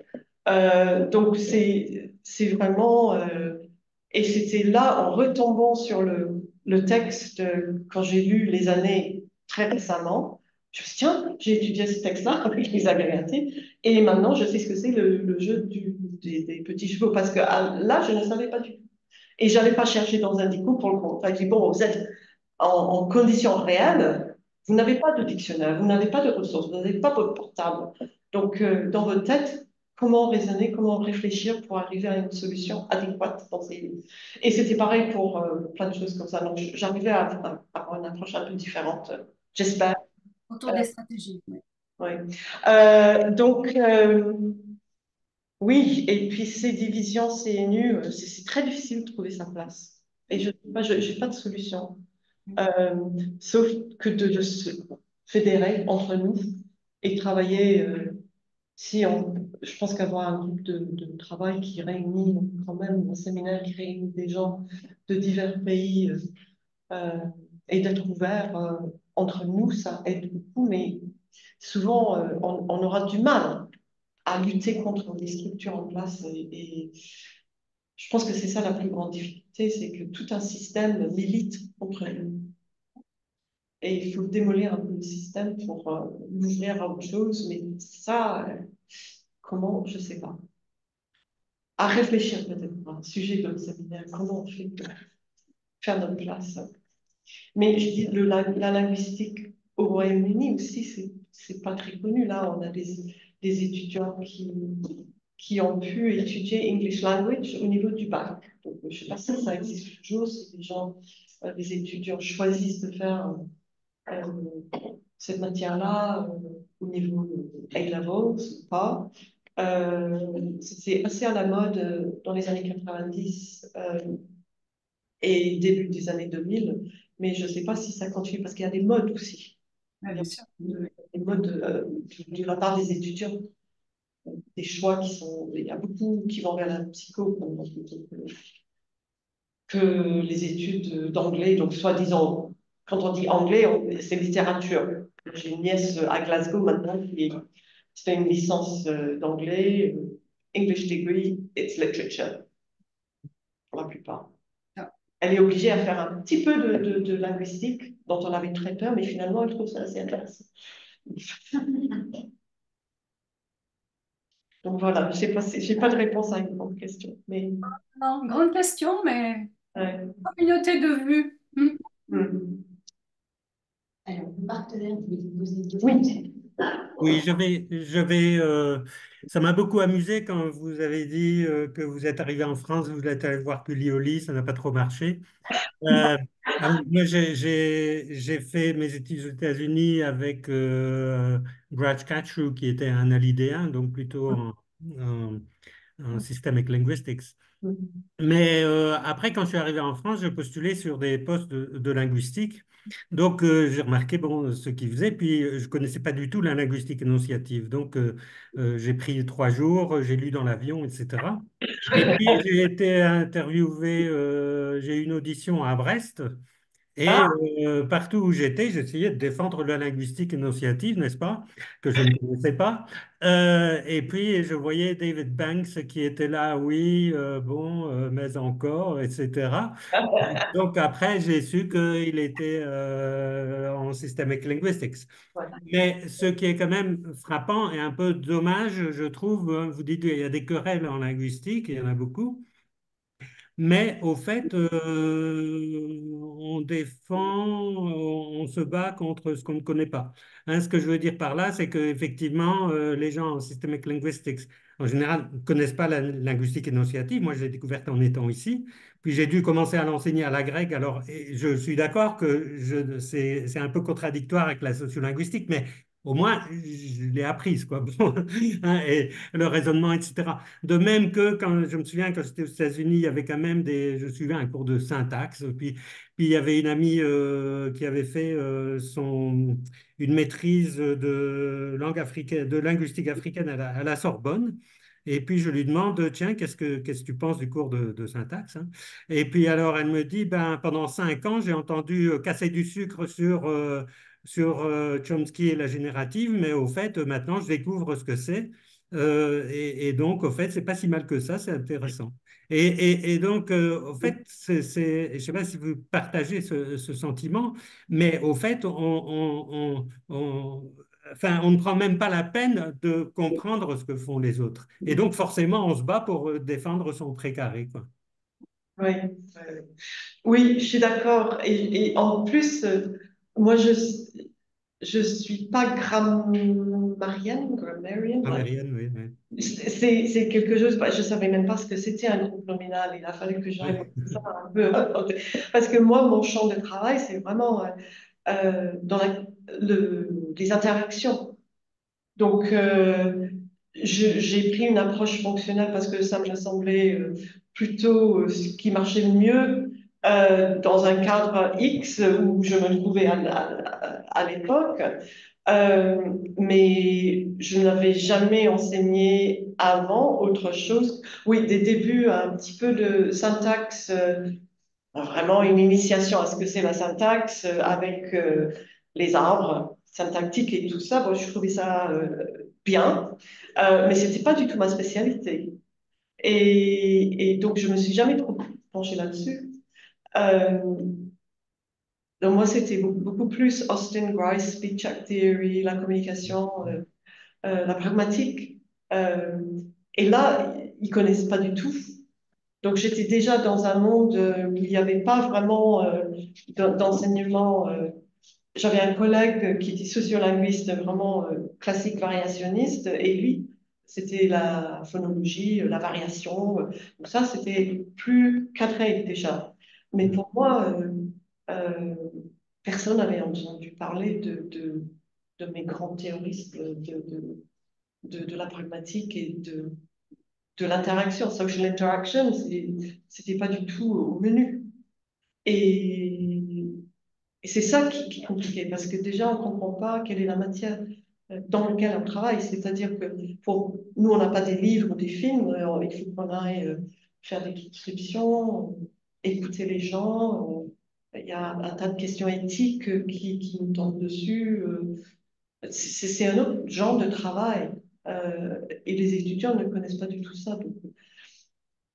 C'est compliqué à, à, faire son chemin là-dedans. Mais c'est vrai qu'on se bat contre les choses que l'on connaît peu, mais c'est pas une raison, je pense, pour ne pas faire ce qu'on sait bien faire et puis essayer de le faire bien avec les étudiants. Mais je sais que j'ai remarqué aussi, par exemple, et je suis une étudiante ici qui est au fait en thèse à, l'INALCO, moi je suis à Nancy, mais enfin c'est une de mes anciennes étudiantes qui travaille un peu sur le discours politique, euh, qui travaille sur la question des, langues en Algérie. Euh, et puis alors, on lui a fait la remarque parce qu'elle est aussi, bon, elle utilise euh, CDA, etc., etc. et puis alors après, à un certain moment, ben, elle utilise Maguenot. Alors on lui a dit, ah ben non, non, il faut pas parce que c'est pas le même paradigme, etc., etc. C'est presque un, péché de voilà. Ah, oui, oui, oui, traverser les lignes rouges. ouais, ça, je trouve ça dommage, personnellement. Oui, oui, oui. Je pense que ce que je dis aux étudiants, c'est que bon, il n'y a pas une théorie, il y a plusieurs théories qui peuvent être adaptées euh, au travail. Quelle est votre question? Et quelle méthodologie s'adapte mieux ou s'applique mieux à trouver des réponses à cette question? Et si on part de là, euh, on est moins euh, coincé, je, trouve. Enfin, il y a, plein de méthodologies et, des théories qui se contredisent pas forcément, mais il y en a qui s'appliquent mieux que d'autres au travail de recherche qu'on veut mener. Et c'est, il y a des, des, des, des, projets de recherche qui, qui, sont très variés, qui, qui utilisent plusieurs euh, méthodes pour euh, arriver au but de, de la recherche aux objectifs euh, placés. Je crois. Merci. On vit dans un univers quand même assez particulier, euh, je veux dire, dans, l'espace de la linguistique et des sciences du langage.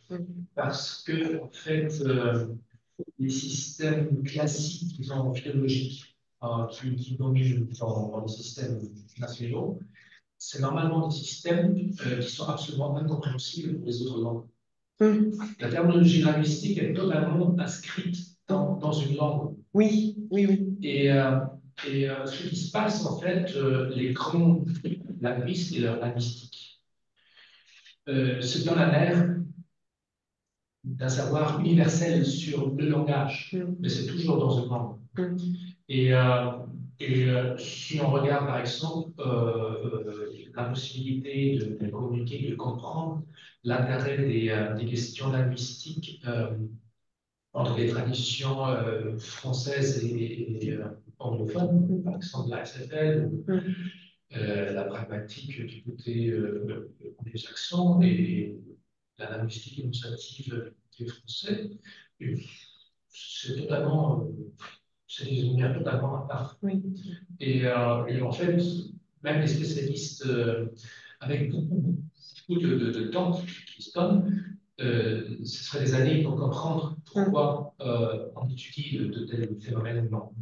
Et c'est quand même assez intéressant de, de, réfléchir sur ça. Je pense que pour les, pour les questions d'échanges, disons, plus récents, je dirais certains courants plus euh, sociaux, plus historiques, ce serait peut-être moins le problème. Mm. Ça dépend quand même euh, beaucoup de, ces champs un peu plus euh, établis de la philologie. ou la pragmatique, ce n'est pas vraiment très philologique, disons ces, ces traditions plus, plus élaborées. Et et, je me demande, euh, d'après ce que tu dis, je, vois tout à fait l'intérêt de regarder les, euh, la dimension institutionnelle qui, qui, qui, nous rappelle que, bien sûr, en fait, il y a toujours un côté euh, non conceptuel, non idéologique, disons, un côté qui n'est jamais explicité, qui est très, très important pour comprendre la valeur et le sens de, de, de, ces débats, de, ces controverses. Je, me demande un peu, euh, avec ton expérience de vivre un peu entre les espaces, où est-ce que tu irais pour euh, chercher des idées intéressantes? Ah oui. Où est-ce que j'irais pour chercher? De, théorique, enfin de, de analytique Quoi que ce soit. Quoi que ce soit. Très bonne question. Euh, bah, je pense que je, on est tous un peu influencés par euh, ce qu'on ce qu'on a appris euh, pendant le parcours euh, thèse et puis publication. Et puis on est dans un, un monde qui est petit et il y a des références, des gens qu'il faut citer, mais il y a aussi des nouveaux chercheurs, de nouvelles théories qui arrivent, il faut chercher. Mais je pense que le, le, le gouffre entre deux langues colonialistes, si on veut dire, entre ce que font les, anglophones et les dans ce monde, euh, pas les anglicistes en France, mais euh, dans les grands colloques euh, sur la la linguistique et l'analyse de discours et la sociolinguistique, souvent la lingua franca, c'est l'anglais.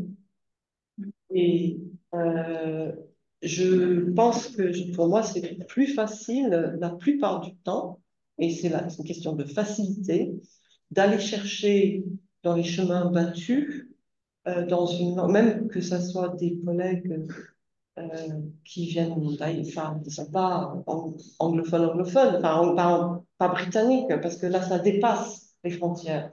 C'est un peu ce que j'avais dit quand j'ai raconté tout à l'heure que dans les colloques, les, vraiment très grands colloques sociolinguistes, le discours, euh, euh, pragmatics, tout ça, il y a beaucoup de monde euh, qui vient de partout dans le monde, mais pas beaucoup de Français.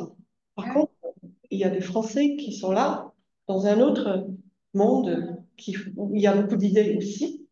Euh, mais les deux ne se rencontrent pas et je trouve ça dommage parce que je pense que ça faciliterait un dialogue entre les deux langues, mais c'est sûr que le, le, la francophonie euh, s'étend sur d'autres euh, langues. Je vois collègue à l'UBO qui a des doctorants francophones un peu partout dans le monde, mais il travaille en français, dans la linguistique française, avec les, les théories françaises.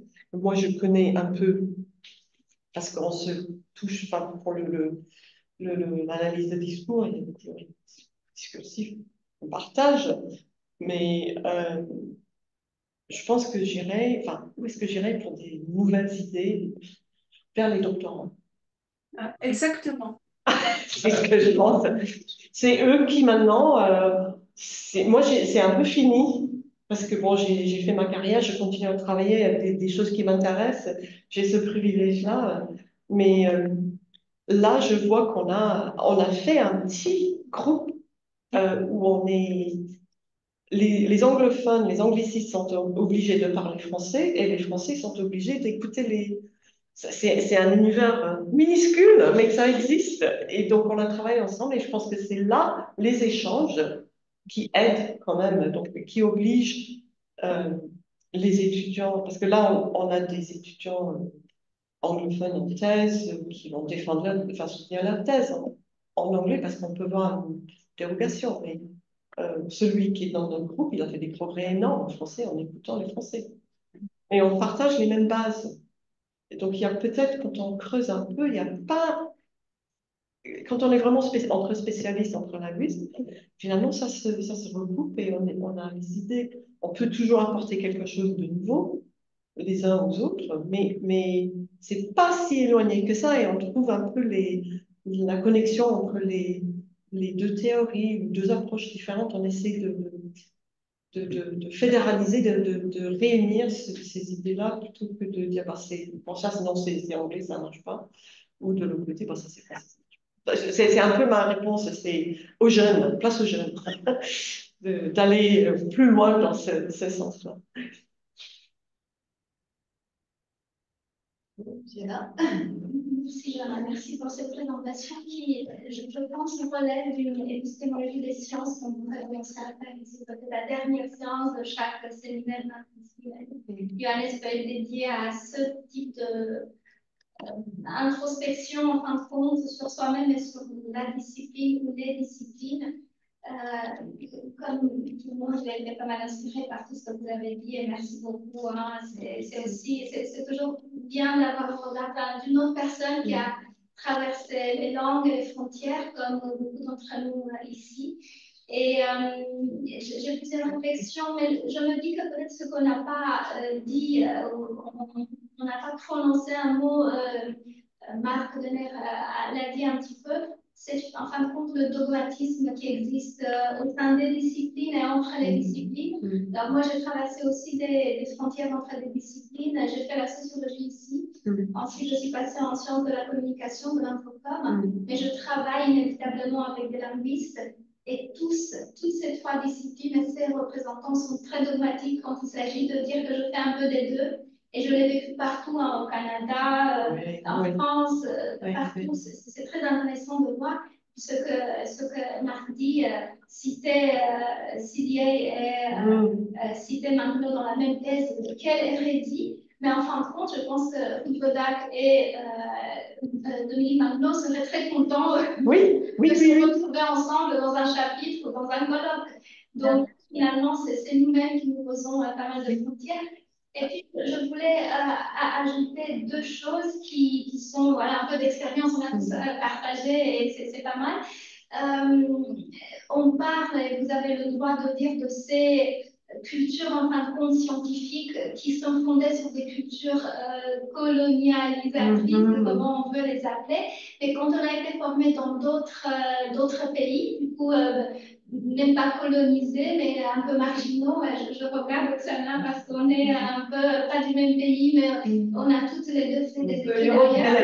Voilà, l'Europe de l'Est, mais ça peut être partout. J'imagine qu'en latine, c'est pareil. On est formé aux deux, on est formé aussi bien à la science anglophone qu'à la science. Enfin, moi, j'ai eu la chance d'être formée aussi à la science francophone, Oksana aussi. Et là, on, se sent plus libre et plus mm. ouvert aux deux. Donc, on va dans ces colloques-là un peu plus euh, mm. facilement, je dirais peut-être. Oui, oui, oui, oui, je pense que c'est important. Et tout à fait d'accord, il faut aller faut s'ouvrir les yeux un peu parce que mais c'est difficile quand il y a une, des références, enfin des référents euh, canoniques et on ne peut pas aller au-delà. bah, Carole, tu as raconte ton histoire avec. Euh, euh, c'est au niveau du mémoire, je pense. Ouais. Moi, je travaille sur euh, un croisement entre la linguistique pragmatique et la traductologie, mais spécialisée dans le sous-titrage. Donc, euh, quand euh, j'ai voulu reprendre un master 2, il a fallu que je passe par le master 1, et donc je suis passée par le master 1 TIL. Ça s'était très bien passé, et ensuite j'ai voulu faire un deuxième master 2 de recherche pour ensuite passer à la thèse. Et pendant ce master de recherche, ça a été plus compliqué. J'ai eu euh, en face de moi les deux directrices du master qui ne comprenaient ni la linguistique pragmatique, ni pourquoi on s'intéressait au sous-titrage.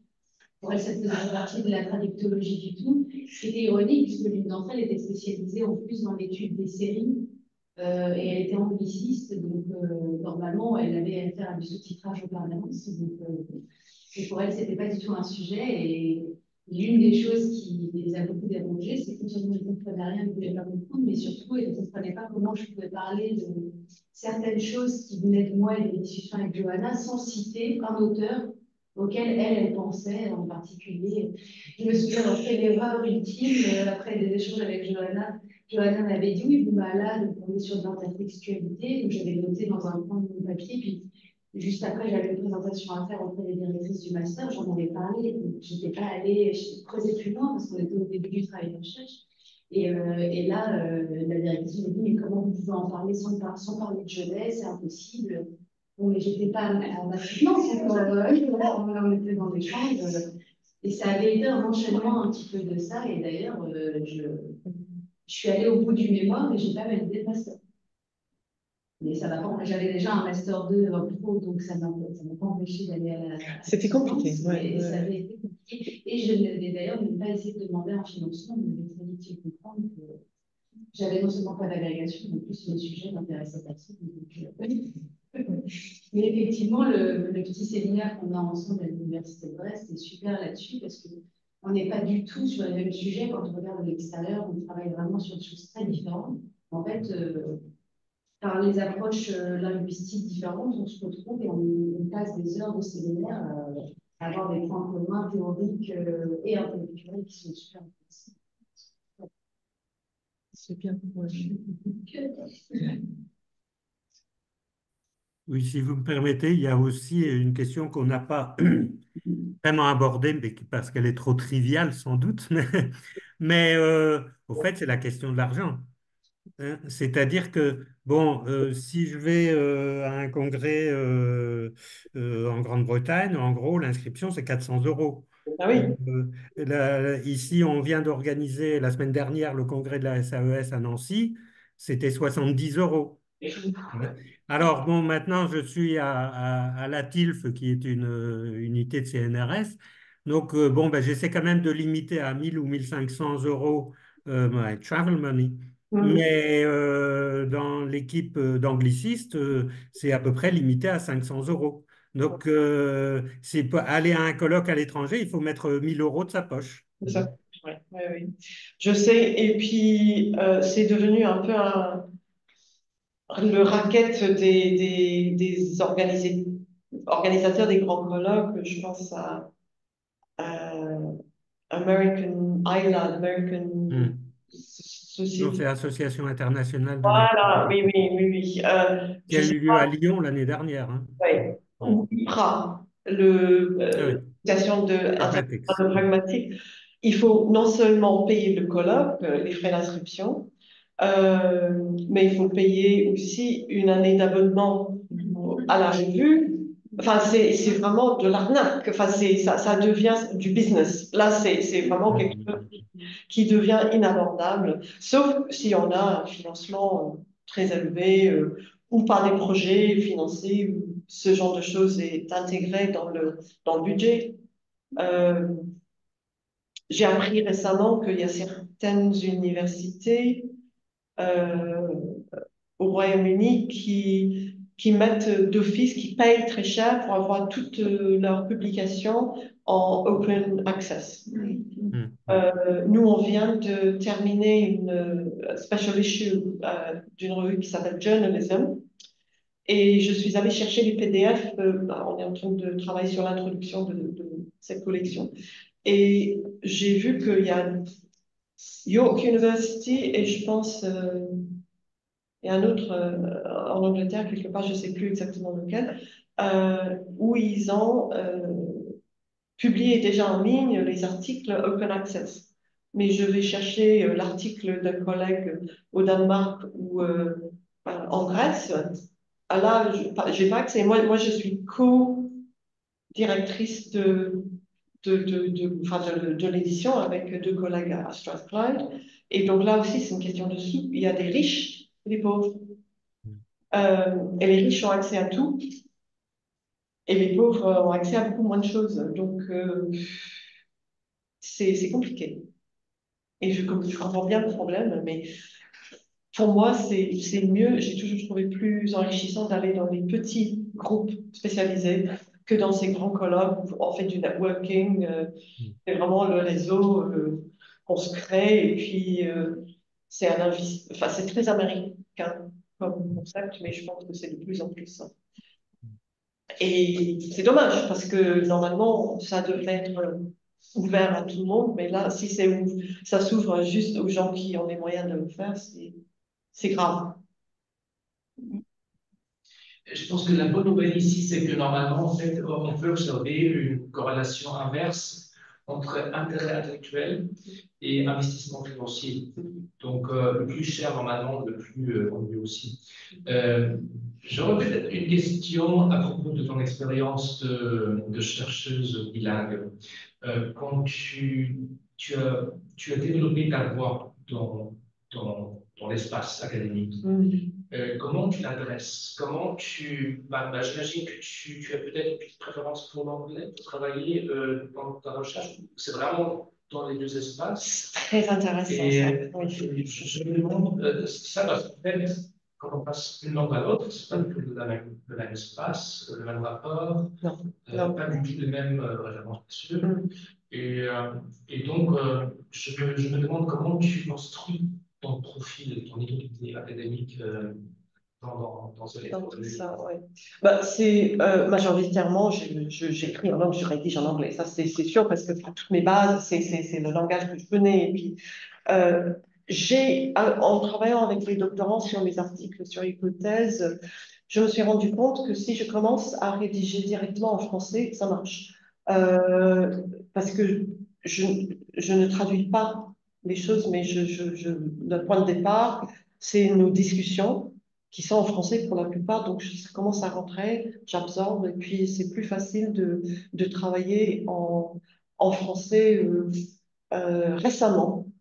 Euh, l'article qu'on avait fait sur, on avait fait une étude sur MeToo euh, avec euh, Pierre Chartier pour une édition, une collection ouvrage euh, publié par un collègue euh, ici à Paris.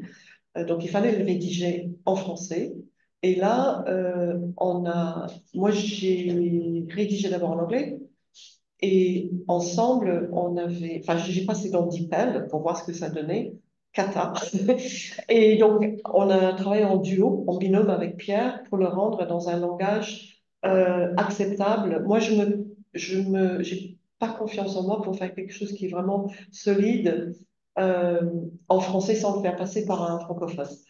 Euh, je viens de faire l'expérience euh, avec un, article enfin, c'est un papier que j'avais écrit pour un colloque, une journée d'études à l'UBO, et il voulait quelqu'un que quelqu'un parle de l'inclusivité euh, et le genre grammatical en langue, en langue qui n'en a pas, donc quelqu'un qui, qui, a une langue sans. Euh, donc j'ai fait ça et je l'ai préparé en français, mais tous mes exemples étaient en anglais. Donc là, c'était compliqué parce que dans ma tête, tout était en anglais.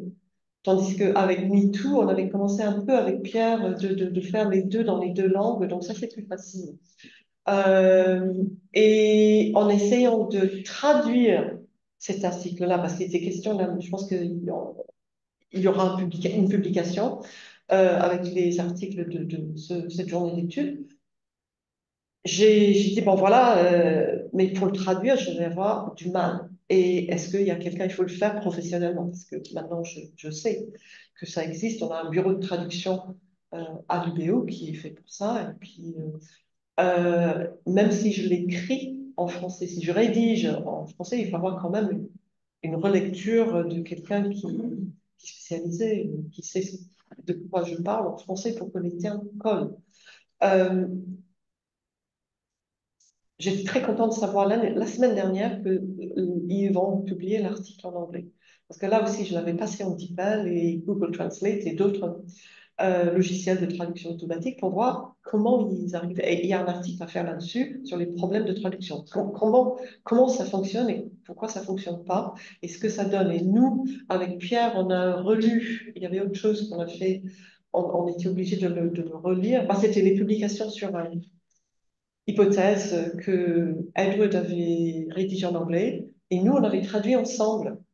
Et donc, on a d'abord passé dans le logiciel et dit, mais ça, c'est pas ça du tout. Donc, on a repris phrase par phrase. Quelquefois, tu as une phrase parfaite, euh, mais je reconnais quand c'est pas fluide, quand il y a vraiment une syntaxe lourde en français qui passe pas, il y a quelque chose, et ça sonne pas français.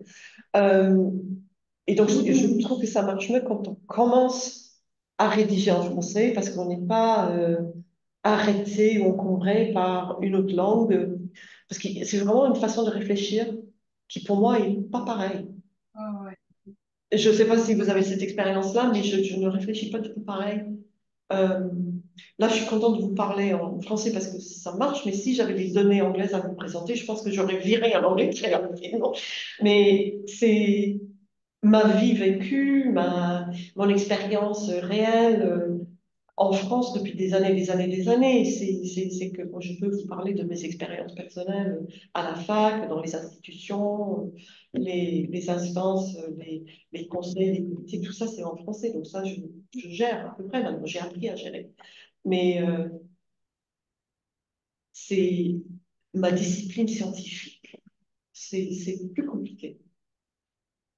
Et ça, c'est quelque chose qui, qui reste vrai, mais je travaille là-dessus toujours. De. Je pense qu'il n'y a pas seulement une différence de, euh, de savoir culturel entre l'anglais et le français. Ça, c'est une chose. Il y a toujours un peu, mm. voilà, les ouais, les, les connotations et tout ça, les, les références implicites ou explicites. Mais il y a aussi euh, un fonctionnement qui est tout à fait différent entre l'anglais et toutes les, autres langues, disons, européennes impérialistes. Mm-hmm. Au niveau de, de, scope, mm-hmm. de, la portée. Mm-hmm.